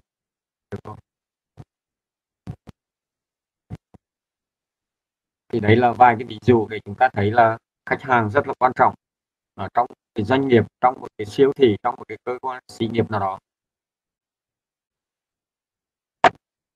Bây giờ chúng ta chuyển sang cái phần à, một số cái đặc điểm tâm lý chung của khách hàng.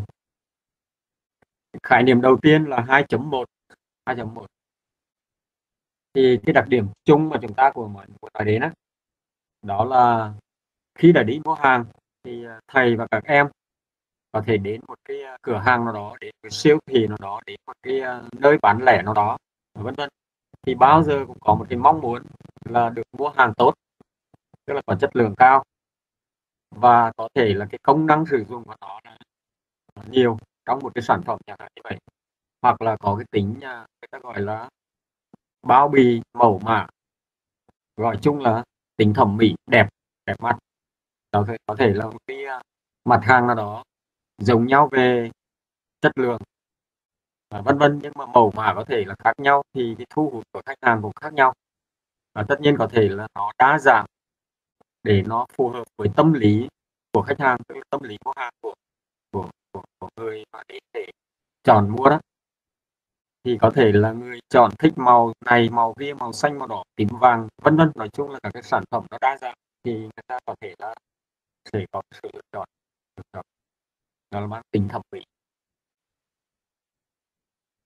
Cái tâm lý thứ hai đó là khách hàng thích mua rẻ hơn ở những cái cửa hàng khác. Chúng ta chỉ cần bán sản phẩm bình thường mua là khoảng 11 ngàn ví dụ như vậy. Thì chúng ta có thể là tìm ở nơi nào đó, cửa hàng có thể bán 10 ngàn rưỡi, thì cái tâm lý người ta có thể là mua khoảng rẻ hơn, mấy trăm đồng. Cho nên trên các cái sản phẩm hiện nay các bạn thấy là thường người ta không để 12 ngàn chặn mà thường là 11 ngàn 990 đồng, ví dụ như vậy. Và người ta là thích có cái con số nó gần như là được rẻ hơn hai cái món hàng như nhau mà ở chỗ nào bán rẻ hơn thì thường là khách hơn. À, có cái ý mà thầy muốn à, nói các em một cái ví dụ nhỏ nhỏ đó là túi tiền của khách hàng thì gần trái tim hơn là khối óc. Tại sao như vậy? Thì ở đây chúng ta hiểu đó là khối óc là lý trí còn trái tim là hay nói đến chỉ đến tình cảm tình cảm lý trí và tình cảm. Vậy thì chúng ta đánh vào túi tiền của khách hàng. Đó là đánh vào tình cảm, chứ đừng đánh vào lý trí. Cho nên là cái túi tiền của khách hàng thì người ta hay nói vui là nó ở gần tình cảm hơn. Và chúng ta đánh vào tình cảm, ví dụ như là khen đi, người đó mua thế này thế kia có tâm lý mua hàng tốt hay là chọn lựa, vân vân các thứ, tức là đánh vào cái tình cảm của họ thì người ta sẽ dễ mua hàng hơn, mua hàng hơn. Khách hàng thì thích được tôn trọng thích được tôn trọng được hướng dẫn để xem và tìm hiểu mọi khía cạnh và thích được lựa chọn được khuyên nhủ và được tin cậy được khen và được tán tụng. Như vậy là chúng ta hiểu là tâm lý của khách hàng đó, thì thường à, nhân viên của chúng ta phải có cái sự hướng dẫn à, để người ta có thể biết các cái thông tin của về sản phẩm và người biết tìm hiểu được cái thông tin đó và người ta biết được cái ờ, sản phẩm mà người ta cần mua đó là như thế nào. Và có sự lựa chọn trong các cái mặt hàng khác nhau đó, thì người ta có thể có sự lựa chọn khác nhau. Và nhân viên của chúng ta có thể là có cái sự tư vấn khuyên nhủ.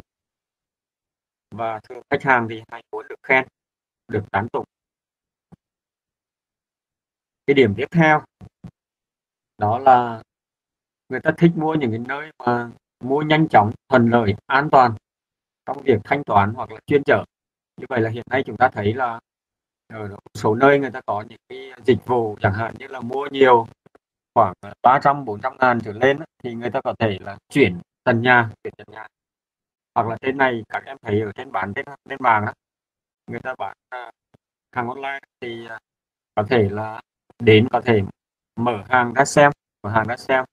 Và nếu ưng ý chúng ta trả tiền theo ờ, thỏa thuận ban đầu 100 200 gì đấy, thì tùy theo cái mức giá và thống nhất giá cả xong thì người ta có thể kiểm tra cái cái, cái, cái sản phẩm đó chất lượng hay là không. Và như vậy rất là thuận lợi trong cái việc mua thanh toán ờ, cái hàng bây giờ. Chẳng hạn như ở Bixi thì hiện nay khoảng ba bốn trăm ngàn gì đấy là họ chở hàng đến tận nhà cho mình. Tận hàng đến tận nhà à, cái tâm lý chung của khách hàng đó là người ta thích mua cái hàng có bảo hành. Và chung là có đảm bảo 6 tháng một năm hay là hai năm gì đó. Và sau cái khoảng thời gian mà trong cái khoảng thời gian mà chúng ta đang có cái ờ, thời gian bảo hành đó, thì có thể là có thể là mặt hàng có trục trặc về mặt kỹ thuật thế này thế kia thì chúng ta có thể đổi lại đổi trả lại. À, tâm lý chung nữa đó là thích mua ở những cái nơi mà quen biết tin cậy. Và những nơi này thì chắc chắn là có khả năng là à, sẽ à, cái hàng nó chất lượng hơn chất lượng hơn. À, ví dụ cái thương hiệu nào đó nhiều khi có cái sự người ta làm giả chẳng hạn thì cái người bán có thể là tư vấn cho cái người quen biết. Và cái độ tin cậy của cái người mà chúng ta hay mua đó thì thường là sẽ đảm bảo hơn đảm bảo hơn. Thích mua ở những nơi có người bán dễ thương có duyên lịch sử, tận tình hướng dẫn và tạo được cái sự tin cậy tin cậy. Và chúng ta thấy là vào một cái cửa hàng nào đó mà chúng ta thấy nhân viên mà lịch sự nở một nụ cười mời chào thoải mái. Và hiện nay thì ta thấy là uh, có những người bán người ta phải lựa chọn nhân viên uh, dễ thương có duyên và cái cách ăn nói giao tiếp cũng rất là quan trọng để tạo được cái sự tin tưởng của cái khách hàng khách hàng. Ờ, khách hàng hay bị chi phối bởi cái hiện tượng áp lực nhỏ ờ, thấy nhiều người mua thì cũng mua. Như vậy là chúng ta thấy người ta chen chúc mua một cái mặt hàng đó. Nhiều khi là không biết cái mặt hàng đó như thế nào nhưng mà thấy nhiều người mua. Thì cái tâm lý chung tức là gọi là tâm lý đám đông ấy, thì chúng ta cũng chen vào để mua bằng được một cái sản phẩm mà người ta đang ờ, dành nhau để mua.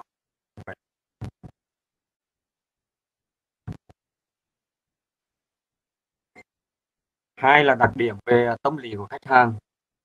Là lúc này chúng ta có nói khách hàng chung, khách hàng chung. Nhưng bây giờ thì chúng ta nêu một số những cái à, đặc điểm tâm lý của khách hàng của từng cái à, phái. Chẳng hạn phái nữ, phái nam, trẻ em và người khuyết tật về vân vân. Thì một cái à, giới như vậy đó, thì có một cái đặc điểm tâm lý nó cũng khác nhau. Và trên cái cơ sở mà chúng ta hiểu biết được cái tính cách uh, của cái khách hàng theo cái giới này đó, thì chúng ta có thể phục vụ họ tốt hơn. Cái điểm thứ nhất mà có cái nổi trội so với nam giới thì ờ, phụ nữ thì hiểu biết về hàng hóa tốt hơn là nam giới. Cái điều này thì chắc chắn là khẳng định. Người ta ờ, thường biết được cái chất lượng uh, của cái sản phẩm thì người ta có thể biết được nhanh nhạy và nhận diện được tốt hơn so với nam giới. Tuy nhiên tuy nhiên một số cái mặt hàng á, khác á, chẳng hạn như là về à, đồ trang thiết bị điện kim khí máy móc tivi tủ lạnh à, vân vân. Thì những mặt hàng này thì nam giới lại hiểu biết hơn là phụ nữ. Cho nên chúng ta cần có cái sự tư vấn cần có cái sự tư vấn của cái uh, chuyên viên bán hàng về các cái mặt hàng mà họ không hiểu biết nhiều này, để chúng ta có thể là đảm bảo được cái chất lượng khi mà chúng ta mua cái sản phẩm. Và cái điểm thứ ba đó là người phụ nữ thì chú ý nhiều hơn đến giá cả, tính tiền giỏi và nhanh hơn nam giới. Phụ nữ chú ý đến mốt, kiểu dáng, hay là các cái hình thức về ờ, mặt hàng. Và có cái sự lựa chọn rất kỹ về các cái sản phẩm này một cái đặc điểm nữa đó là cũng thích mua cái hàng giảm giá thích mua cái hàng giảm giá và thích mua hàng hạ giá hơn so với nam giới phụ nữ thường quan tâm nhiều hơn đến cái việc trưng bày đến việc quảng cáo. Điều này trưng bày một cách đẹp mắt rồi quảng cáo cái sản phẩm như thế nào đó thì người ta thu hút được cái uh, khách hàng là nữ giới nhiều hơn so với là nam giới so với nam giới cái điểm tiếp theo đó là người phụ nữ mà khi lựa chọn mua hàng thì lựa chọn lâu hơn là là người nam giới hơn nam giới. Và chú ý nhiều đến cái yếu tố và cân nhắc kỹ hơn so với à, người nam giới. Và một cái điểm nữa đó là phụ nữ yêu cầu cao hơn với người bán hàng. Người bán hàng so với nam giới thì người phụ nữ có cái yêu cầu cao hơn. Về mẫu mã, về số lượng, về chất lượng, vân vân, nói chung tất cả những yêu cầu thì người có yêu cầu cao hơn. À, một cái đặc điểm chung của phụ nữ nói chung và phụ nữ Việt Nam nói riêng đó là thích mua sắm và thích mua sắm nhiều hơn là tâm lý của người đàn ông đàn ông. À, nhân đây thầy cũng à, muốn à, nói một cái câu mà tất cả các thế hệ sinh viên là hay nói đấy là cái câu bản quyền của thầy Long đó là à, các em hãy à, mua những cái điều gì mà mình cần, đừng mua những cái gì mà mình thích. Như vậy là những cái gì mà thật cần thiết thì chúng ta hãy mua. Còn có nhiều em, sinh viên hoặc là những cái khách hàng thì chỉ thích đấy thích là mua. Nhưng mà mua về rồi thì nhiều khi không sử dụng, không sử dụng. Có nhiều bạn à, giày dép thì rất nhiều rồi nhưng mà vẫn mua về. Rồi cuối cùng là cả năm không mang đến quần áo cũng tương tự như vậy. Nói chung là tất cả những cái mặt hàng mà khi cần thiết lắm thì chúng ta mới mua. À, điện thoại thì chúng ta có thể dùng một cái à, cái để nói nghe rồi là sử dụng. À, liên quan đến cái việc à, học hành vân vân thì cũng không cần là đến là x10 x11 đúng không không cần những cái gọi là đắt tiền tiền.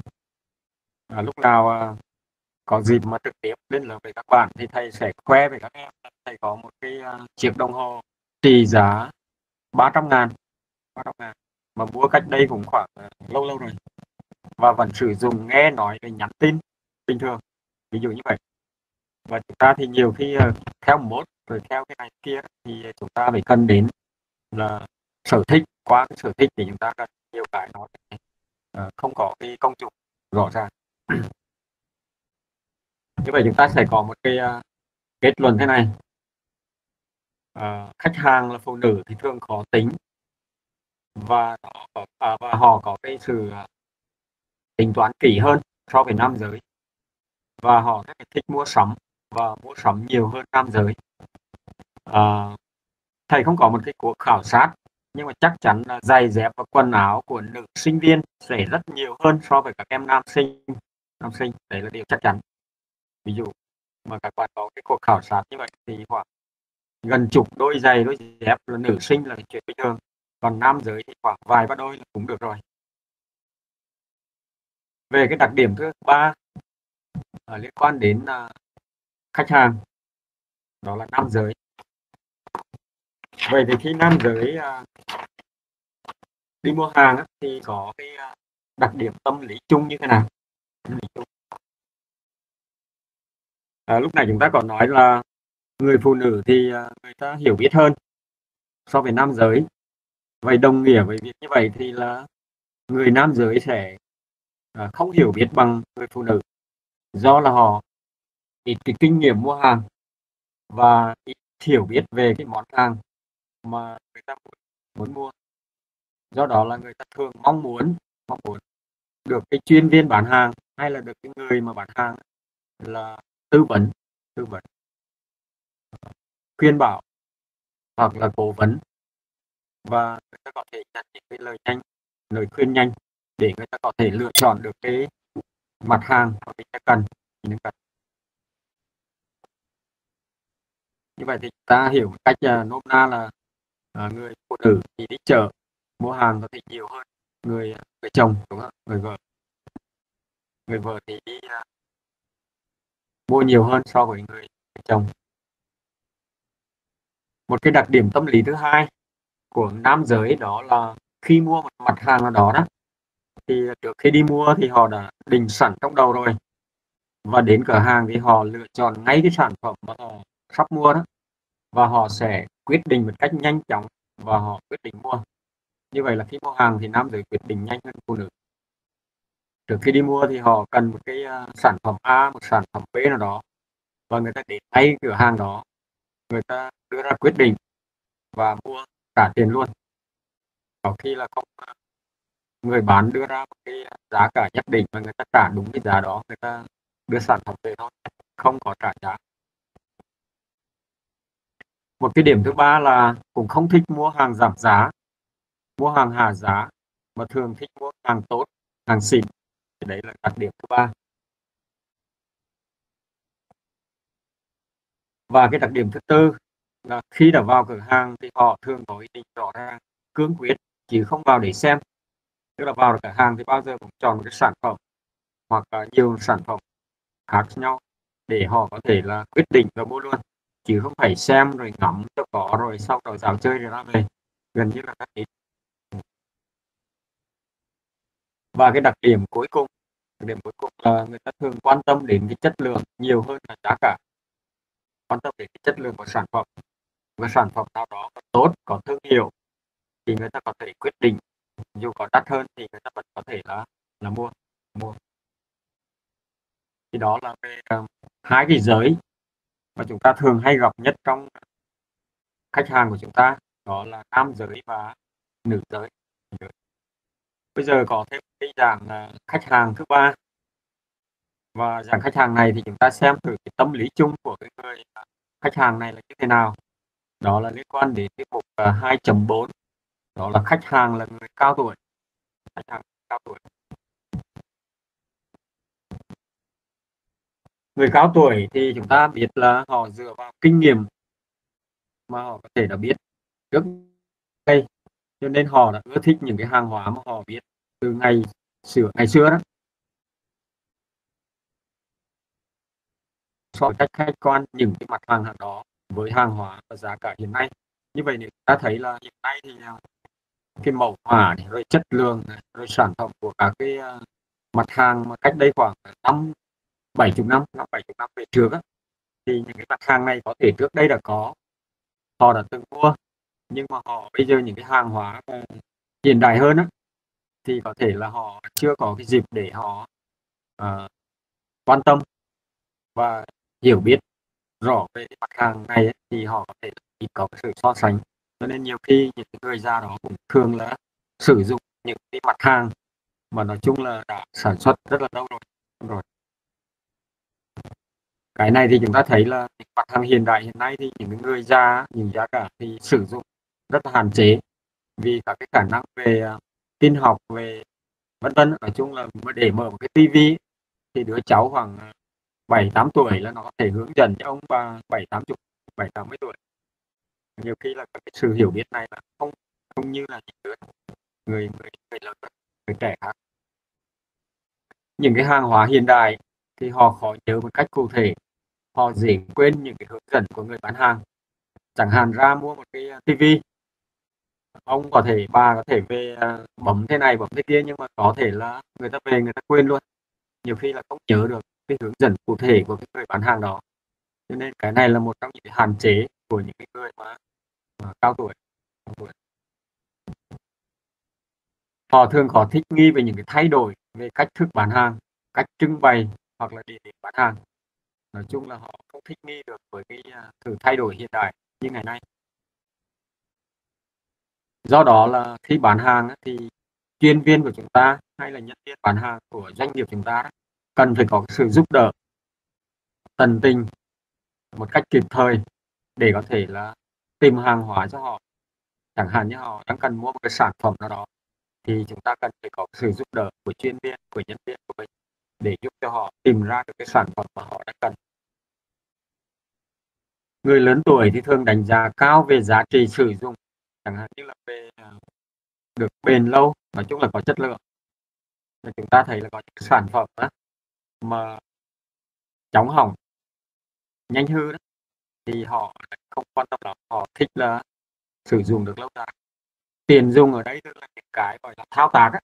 thao tác nó phải đơn giản thao tác phải đơn giản và một sản phẩm có thể có nhiều chức năng, nhưng mà cái cách sử dụng thì nó phải là đơn giản đơn giản còn những cái về đẹp, mẫu mà tức là thẩm mỹ, kiểu dáng tốt vân vân thì họ lại không quan tâm lắm, không quan tâm giới trẻ như các bạn thì có thể là quan tâm đến rất nhiều những cái uh, màu sắc những cái gọi là thương hiệu kiểu dáng remote quần áo cho đến là điện thoại hay là nói chung những cái dụng cụ để chúng ta sử dụng. Còn những người lớn tuổi thì họ lại không quan tâm lắm về cái điều này. Chắc bền là được. Cái dạng à, thứ tư đó là về à, khách hàng trẻ em thứ nhất là chúng ta quan tâm đến à, tâm lý của người phụ nữ. Thứ hai là tâm lý của nam giới. Thứ ba là tâm lý của cái người có hàng người cao tuổi. Và thứ tư là tâm lý của những cái người bạn ở tuổi đang còn là thanh thiếu niên trẻ em, trẻ em. Đặc biệt là về mẫu giáo vườn trẻ tiểu học cấp hai cấp ba trở xuống đó thì gọi chung là trẻ em. Và nếu chúng ta hiểu thì trẻ em thì rất nhạy cảm rất là nhạy cảm và họ thường là chú ý và ấn tượng với người bán hàng mạnh hơn so với người làm. Nhiều khi là khen cái người đó bán hàng vui tính và khen người đó là dễ thương, khen thế này kia và tận tình, chu đáo, vân vân. Nói chung là trẻ em thì rất là nhạy cảm về vấn đề này. Cái điểm thứ hai mà tâm lý của em là thích được người bán hàng quan tâm, niềm nở, đối xử vui vẻ.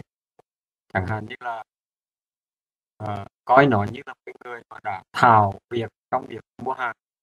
Coi trẻ em như là người lớn là khen người bán hàng có thể khen trẻ em là người biết hiểu biết nhiều về mẫu mã về số lượng về chất lượng về tất cả những cái hình thức bên ngoài. Thân thì được khen như vậy thì các em rất là thích.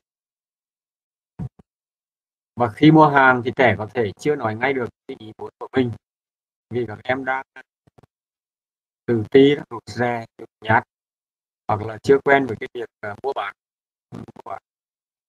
Cho nên người bán hàng phải kiên nhẫn và không nên nóng vội gọi là vội vàng và các em khi đã làm quen với cái uh, thích nghi đó thích nghi với cái việc mua bán này thì các em lại rất là nhanh nhạy.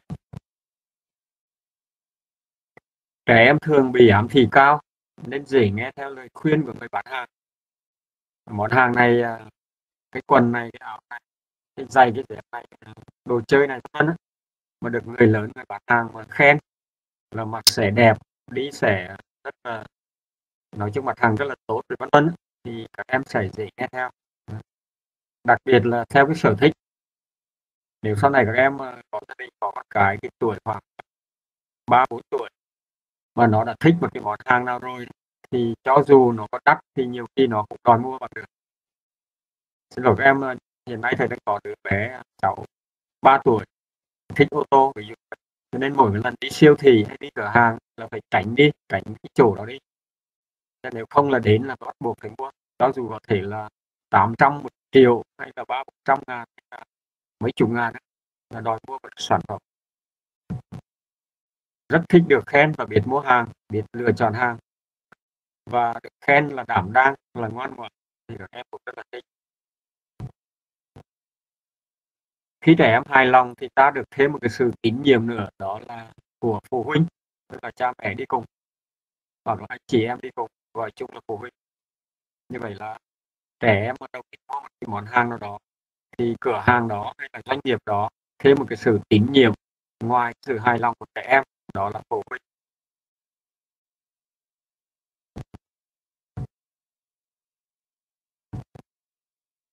Thầy nói thêm một cái uh, đặc điểm tâm lý của khách hàng là người đau yếu, là người khuyết tật. Đau yếu là tật, tức là nóng cái đặc điểm tâm lý của người à, người già yếu hay là đau yếu, hoặc là có những cái người mà nó bị à, khuyết tật về à, mắt tay tay chân gì đó vân thì chúng ta cũng phải tìm hiểu xem cái đặc điểm của họ như thế nào. Và xong cái phần này thì các em có thể nghỉ giải lao đến khoảng ờ, uh, 3 giờ 15 giờ đó. Thì chúng ta sẽ làm cái bài tập số 5 và sau khi làm bài tập xong uh, em nhớ nộp uh, bài cho đúng khung giờ mà thầy quy định. Chẳng hạn như là thầy quy định từ làm bài từ A đến B thì sẽ nộp bài từ B đến C trong cái khung giờ đó. Bạn nào mà nộp ngoài khung giờ mà bị mất bài hoặc là bị thất lạc bài đó thì thầy không chịu trách nhiệm và tất cả những cái bài mà làm đúng cái quy định theo ờ, quy định của thầy đó thì thầy sẽ lên danh sách, xong rồi thầy gửi cho lớp trưởng bạn có thể tập hợp cái danh sách đó điểm danh các cái buổi chúng ta. Ờ, điểm danh các buổi chúng ta. Và cái cách tính điểm thì ờ, thầy sẽ thông báo sau. Mỗi buổi học thì bao nhiêu điểm và một tập thì bao nhiêu điểm chúng ta nhân nhân lên. Và tổng cộng là có khoảng 70 7 phần trăm là điểm uh, lý thuyết và 30 phần trăm là chúng ta học à, uh, thầy thể tính điểm danh về cái, à, cái điểm này. Như vậy là tối đa là điểm bài tập là 3 điểm và điểm lý thuyết thi cộng với các cái buổi học là 7 điểm 7 điểm.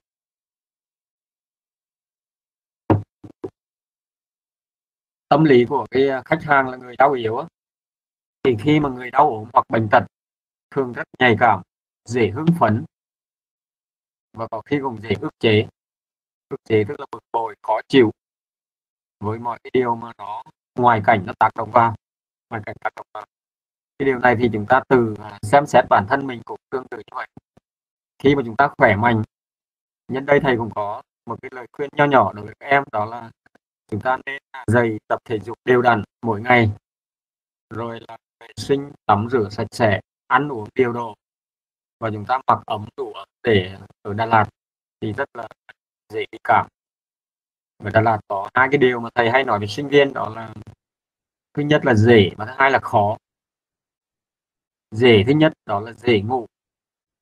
Nhiều khi ờ, sáu bảy giờ sáng rồi thầy hết sức bình sinh rồi nhưng mà vẫn dậy không nổi vì cái chăn nó nặng quá. Nhưng mà nhiều khi các em lại có một cái rất khó, đó là khó tắm cho nên nếu chúng ta có cái thể thao thì chúng ta sẽ tắm rửa thoải mái, ăn uống đầy đủ. Và như vậy dần đến một cái điều, đó là chúng ta sẽ luôn luôn vui vẻ và đặc biệt là khỏe mạnh. Và trong cái điều kiện hiện nay à, đang cái mùa dịch như vậy cho nên các em cố gắng làm sao là ăn uống đầy đủ, xong đó rồi thể dục đều đặn, sinh hoạt nói chung là mọi cái như là theo hướng dẫn để chúng ta tránh cái đại dịch này. Để một cái ngày gần nhất đây thì chúng ta có thể đến trường để vui vẻ chuẩn bị cho cái à, kỳ học nó tốt đẹp hơn đẹp hơn. Và khi chúng ta là đã không khỏe mạnh rồi ấy, thì dễ bị uh, đau ốm. Và đau ốm thì rất là tâm lý tâm lý chung là rất là bực bội khó chịu. Nói chung người ta rất là quan tâm đến mình nhưng mà những cái điều đó làm cho cái tác động đến chúng ta nhiều khi nó cũng rất là ức chế ức chế. Cho nên khi mà chúng ta gặp được những cái người mà đang đau ốm như thế này ấy, và khuyết tật thì chúng ta nên có cái sự rộng lượng không nên quá để tâm đến những cái điều đó đối với họ. Nhiều khi chúng ta chọc vào cái nỗi đau của họ thì làm cho họ lại càng bực bội thêm. Thứ hai là họ muốn được phục vụ cách nhanh chóng và chú đáo. Và điều này thì chúng ta hiểu rồi tức là uh, khi mà mua hàng thì thường là họ muốn nhanh chóng để mua được một cái sản phẩm và cái người bán phục vụ cách chú đáo để họ có thể à, nhận được cái sản phẩm nhanh nhất. Họ thường có cái thái độ mặc cảm với mọi người. Vì vậy, người bán hàng cần phải khéo léo, tế nhị, giúp đỡ họ trong việc mua bán, đóng gói, vận chuyển hàng, vân vân. Chẳng hạn như đối với người à, khuyết tật về thính giác thì chúng ta phải có cái sự đối xử khác. Những người có khuyết tật về thị giác thì chúng ta phải có cái đối xử khác. Hoặc là một số những cái à, khiếm khuyết khác thì chúng ta là một câu ngắn gọn là không chọc vào cái nỗi đau của họ để làm cho họ càng khó khó chịu hơn. Với cái người khuyết tật thì khi giới thiệu hàng hóa cho họ thì cần phải chú ý tạo điều kiện để khi à, các cái giác quan lành mạnh của họ được sử dụng. Ví dụ như vậy. Khi mà họ bị thính giác hạn chế thì chúng ta phải sử dụng cái uh, giới thiệu mắt cho họ. Nhưng giả sử như mà mắt bị kiểm khuyết thì, thì giác bị kiểm khuyết thì chúng ta phải dùng cái à, uh, mạc giác tức là da đó để cho họ có thể là cầm nắm uh, sờ cái sản phẩm để cho họ có thể là biết được thông qua các cái giác quan lành mạnh này.